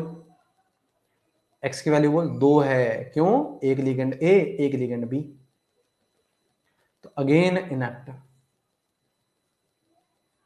अब यहाँ देख M A four B C X की वैल्यू बोल तीन एक्स की वैल्यू बोल तीन, लेकिन ये एक्सेप्शन वाला है। M A four B C M A four B C तो ये भी क्या है? इनएक्टिव तीन कैसे है, समझ में आया ना? एक ए है बेटा, एक बी है, एक सी है। इनएक्टिव इनएक्टिव भाई इनएक्टिव एक्सेप्ट एक्सेप्शन वाला है। हाँ अच्छा ये बता ये बता। M M A three B two C चलिए है। एक्स की वैल्यू बोल। एक्स की वैल्यू बोल। यहाँ पे भी तीन है। एक लिगेंड ए एक लिगेंड बी एक लिगेंड सी एक्स की वैल्यू क्या है? तीन। तीन या तीन से बड़े तो एक्टिव हो जाएगा। तीन या तीन से बड़े एक्टिव हो जाएगा। ठीक है? यहाँ पे देख। M A two B two C two X की वैल्यू तीन अगेन एक्टिव अगेन एक्टिव ठीक है, अब यहाँ देख। M A two B C D suppose करिए है। सही लिखा है क्या मैंने? एक, दो, तीन, चार, पाँच, छ। ये ले। ये ले। ये आएगा ना? छह आएगा ना बेटा? कोऑर्डिनेशन नंबर छह पढ़ रहा है ना? तो एक्स की वैल्यू बोल। देख, एक, दो, तीन, चार, पाँच। पाँच है एक्स की वैल्यू एक्स की वैल्यू क्या है? पाँच है। पाँच है तो अगेन एक्टिव तीन या तीन से अधिक एक्टिव तीन या तीन से अधिक active except this except this तो मोनोडेंटेट समझ में आ गया? क्या मोनोडेंटेट समझ में आ गया है? हाँ अब आजा बायोडेंटेट में। अच्छा ये देख। लिख के लेके आता है लड़का, लेकिन फिर भी लिख देता है। ठीक है? लड़का लिख के लेके आता है, सब कुछ लिख के लेके आता है, लेकिन फिर भी लिख देता है। है ना? लड़का है ही ज़बरदस्त बेटा। लड़का भावनाओं में बह जाता है पढ़ाते पढ़ाते कोई दिक्कत नहीं। ये अपन ने ऑलरेडी कर लिया है। ये अपन ने ऑलरेडी कर लिया है। ठीक है, अब यहाँ पे आ जा। यहाँ पे आ जा। केस टू क्या है थोड़ा क्या पढ़ाते पढ़ाते फ्लो में चले जाते हैं ना। ध्यान नहीं रहता कि नेक्स्ट स्लाइड में क्या है। तो उसी स्लाइड में cut cut cut cut cut ठीक है? ठीक है, आ जा। यहाँ पे आ जा। बाइडेंटेड लिगेंड अब सुनिएगा ध्यान से, सुनिएगा ध्यान से। देख बाइडेंटेड लिगेंड जो होते हैं, क्या वो चिलेटिंग लिगेंड होते हैं? हाँ बाइडेंटेड लिगेंड क्या होते हैं? चिलेटिंग लिगेंड होते हैं। ठीक है? और एक बायडेंटेट लिगेंड, जो आपका एक बायडेंटेट लिगेंड है, वो एक रिंग बनाता है। कितनी रिंग बनाता है? एक रिंग बनाता है। कैसे? जैसे सपोज़ ये था ई एन था। जैसे सपोज़ कर ई एन था एन एच टू यहाँ देख एन एच टू तो यहाँ देख, जैसे सेंट्रल मेटल आया तो ये देता था डोनेशन ये देता था डोनेशन तो यहाँ पे देख, एक रिंग बन रही। यहाँ पे देखिए, एक रिंग बन रही है। एक, दो, तीन, चार, पाँच। एक ही तो रिंग बन रही है? पाँच मेंबर्ड बन रही है। मैं वो नहीं बोल रहा, गिनती बोल रहा हूँ। रिंग तो एक ही बन रही है। रिंग तो एक ही बन रही है। हाँ तो यहाँ पे देख क्या है? अगर आपकी टोटल नंबर ऑफ़ रिंग्स दो या दो से अधिक है तो ऑप्टिकली एक्टिव तो optically active except trans M A two two, A A two two B two. Trans वाला, ये ऑप्टिकल इनएक्टिव होगा। सबसे पहले मैं यही दिखाता हूँ कि ये कैसे होगा। Trans, A A two, B two. क्यों? क्योंकि इसके अंदर आ जाती है POS this is optically inactive अब कैसे है? सबसे पहले तो यही देख लो। सबसे पहले तो यही देख लो। ये देख metal M A A two और ट्रांस है। तो देख सपोज़ कर मैंने यहाँ पे बी दे दिया, ये बी दे दिया। और ए ए टू, यहाँ पे ए यहाँ पे ए दोनों के बीच में बॉन्ड यहाँ पे ए यहाँ पे ए दोनों के बीच में बॉन्ड देख। तो सबसे पहली बात क्या ट्रांस है ये? देख ना बी बी अपोजिट है। बी भी अपोजिट है हाँ। हम्म। समझे? तो यहाँ पे क्या है? पीओएस यहाँ पे क्या है? पीओएस है। तो ये इनएक्टिव है। ये इनएक्टिव है। मतलब आपको रिंग क्या चाहिए? दो या दो से अधिक। और ये वाला केस नहीं होना चाहिए। देखिए, यहाँ पे यहाँ पे भी दो रिंग बन रही है। आपको अगर ध्यान से देखो तो एक रिंग ये है, देखिए। और एक रिंग ये है। दो रिंग तो यहाँ पे भी बन रही है। लेकिन ये नहीं, यहाँ पे पीओएस आ जा रही है। यहाँ पे पीओएस आ जा रही है। यहाँ पे पीओएस आ जा रही है। यहाँ पे पीओएस आ जा रही है। जैसे, सपोज़ कर ये यहाँ देख। मुझे बताओ, रिंग्स कितनी बनेंगी? मुझे बताओ, रिंग्स कितनी बनेंगी? मुझे बताइए रिंग कितनी बनेगी? तीन। क्यों? एक बाइडेंटेड लिगेंड एक रिंग यहाँ पे तीन बाइडेंटेड लिगेंड तीन रिंग तीन रिंग तो एक्टिव अरे दो या दो से अधिक एक्टिव रहता है। ये बता। ये बता, यहाँ पे रिंग कितनी बनेगी? अरे तीन बाइडेंटेड है अगेन तीन रिंग बनेंगी। ये भी एक्टिव ये भी एक्टिव जैसे देखिए रहा जैसे देखिए रहा तीन बाइडेंटेड है तो रिंग कितनी बनेंगी? तीन। तो ये एक्टिव यहाँ देख, ये भी रिंग कितनी बनेंगी? तीन। बाइडेंटेड है ना बेटा? तीन बाइडेंटेड है। तो एक्टिव दो या दो से अधिक में एक्टिव अब यहाँ देख यहाँ देख, जैसे ये देख, ये वाला देख, ये देख। किस तरीके का ये? सेंट्रल मेटल को बोल दे एम ऑक्सलेट ऑक्सलेट क्या होता है? ए ए तो ए ए ऐसे कितने हैं? दो। और ये क्या है? मोनोडेंटेट तो उसको लिख दे बी टू और कौन सा फॉर्म है ये? सिज फॉर्म है। तो अरे चाचा, ढंग से देख, कितने रिंग हैं? दो रिंग हैं। कितनी, दो बाइडेंटेड है ना? तो दो रिंग है। एक्टिव या इनएक्टिव एक्टिव अब एक्टिव आएगा। इसी का ट्रांसफॉर्म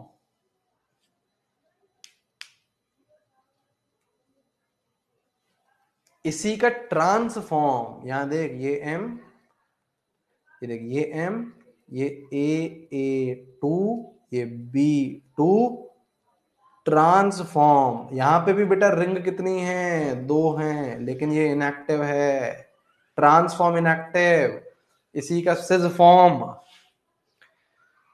यहाँ पे दो रिंग, इसी का सिज फॉर्म एक्टिव, इस, यहाँ पे भी दो रिंग, इसका ट्रांसफॉर्म इनएक्टिव। एक्सेप्शन वाला केस आ गया, एक्सेप्शन वाला केस आ गया, एक्सेप्शन वाला केस आ गया। ठीक है? ठीक है? ठीक है। अच्छा अब कुछ नहीं है यार, अब ये ये दे रखा है, ये देख लेना। इसमें जितने भी आप लोग के बन सकते थे, जितने भी बन सकते थे, सबके ज्योमेट्रिकल आइसोमर्स लिखे हुए सबके ज्योमेट्रिकल आइसोमर्स लिखे हुए ठीक है, सबके ज्योमेट्रिकल आइसोमर्स लिखे हुए जितने भी पॉसिबल हैं। ये एक बार देख लीजिएगा, आपके पीडीएफ में है। एक बार नज़र मार लीजिएगा बस। एक बार नज़र मार लीजिएगा, ठीक है? इसके बाद कुछ नहीं, अब एनसीआरटी में दो चीज़ें दे रखी हैं। क्या है? क्या दे रखा है? एक दे रखा है सिज प्लेटन एक दे रखा है cisplatin which is what anti cancer compound हमेशा ध्यान रखना सिज फॉर्म ये देखो, ये रहा प्लेटन ये प्लेटन है। इसकी सिज फॉर्म एंटी कैंसर है। सिज फॉर्म कैसे बनाओगे? सिस फॉर्म कैसे बनाओगे? देखो, दो एन एस थ्री है तो 90 डिग्री पे ले लो। और दो क्लोरीन है तो वो भी 90 पे ले लो। सिज फॉर्म बनानी है। ट्रांसफॉर्म नहीं सिज फॉर्म ठीक है? और ये है आपका विल्किंसन कैटलिस्ट रोडियम है थ्री है, तीन और क्लोरीन है। हाइड्रोजनेशन ऑफ़ एल्कीन में काम आता है। ठीक है? अच्छा एक लास्ट चीज़ और दे रखी है स्टेबिलिटी एंड डिसोसिएशन कांस्टेंट बस बेटा, दो मिनट का और फिर आपका खत्म हो गया। जैसे सपोज़ कर, सुनिए ध्यान से, सुनिए ध्यान से। जैसे सपोज़ कर आपको एम एल थ्री बनाना है मतलब एक मेटल है और तीन लीगेंड है। कैसे बनता है ये? कैसे बनता है? ये आपका थ्री स्टेप प्रोसेस है। मतलब मेटल है, पहला एक एल जुड़ता है और ये क्या बनाता है? एम एल बनाता है। ठीक है, अगर मैं इसका इक्विलिब्रियम कांस्टेंट के वन लिखूं तो क्या लिखूँगा? M L upon M into L लिखूँगा। या देखो this is product this is reactant देखो। एक पहला स्टेप दूसरा क्या होता है? एक और लिगेंड आता है एम एल ऑलरेडी होता है, एक और एल आता है, दूसरा बनता है M L two M L two तो यहाँ पे के टू क्या होता है? Product M L two upon M L into L देखो जरा। तीसरा स्टेप क्या होता है? एम एल टू एक और एल यहाँ पे बनता है तो क्या बनता है? एम एल थ्री तो यहाँ पे देखो के थ्री क्या बनता है? M L three upon M L two into L यहाँ पे देखिए, यहाँ पे देखिए। और अगर आप तीनों को ऐड कर देंगे, अगर आप तीनों को ऐड कर देंगे तो यहाँ पे क्या होगा? यहाँ पे क्या होगा? यहाँ से देखो, ये कैंसिल ये कैंसिल ये कैंसिल ये कैंसिल तो यहाँ पे क्या आता है? एम आता है, तीन एल आते हैं, और यहाँ पे क्या बन जाता है? यहाँ पे क्या बन जाता है? एम एल थ्री इसका अगर आप के इक्विलिब्रियम लिखो तो क्या बनता है? M L three upon M N two L का क्यूब है ना? यहाँ पे स्टोशियोमेट्री कितनी है? तीन है। यहाँ पे स्टोशियोमेट्री कितनी है? तीन है। वो कहाँ चली जाएगी? पावर में। और हमको पता है केमिकल इक्विलिब्रियम में क्या होता है? अगर मैं के लिखूँगा, अगर मैं इसका के लिखूँगा तो जो के आएगा, वो क्या आएगा? आप क्या कर रहे हो? रिएक्शंस को ऐड कर रहे हो। आप क्या कर रहे हो? रिएक्शन को ऐड कर रहे हो। तो यहाँ पे इक्विलिब्रियम कांस्टेंट क्या हो जाएँगे? मल्टीप्लाइड हो जाएँगे। क्या हो जाएँगे? मल्टीप्लाइड हो जाएँगे। तो के को हम लोग क्या बोलते हैं? के को हम लोग क्या बोलते हैं? के को हम लोग बोलते हैं बेटा स्टेबिलिटी कांस्टेंट स्टेबिलिटी कांस्टेंट। ठीक है? और यहाँ पे एक टर्म आता है beta. Beta is dissociation constant. उल्टा मतलब बेसिकली के का उल्टा रेसिप्रोकल तो beta is what one by K.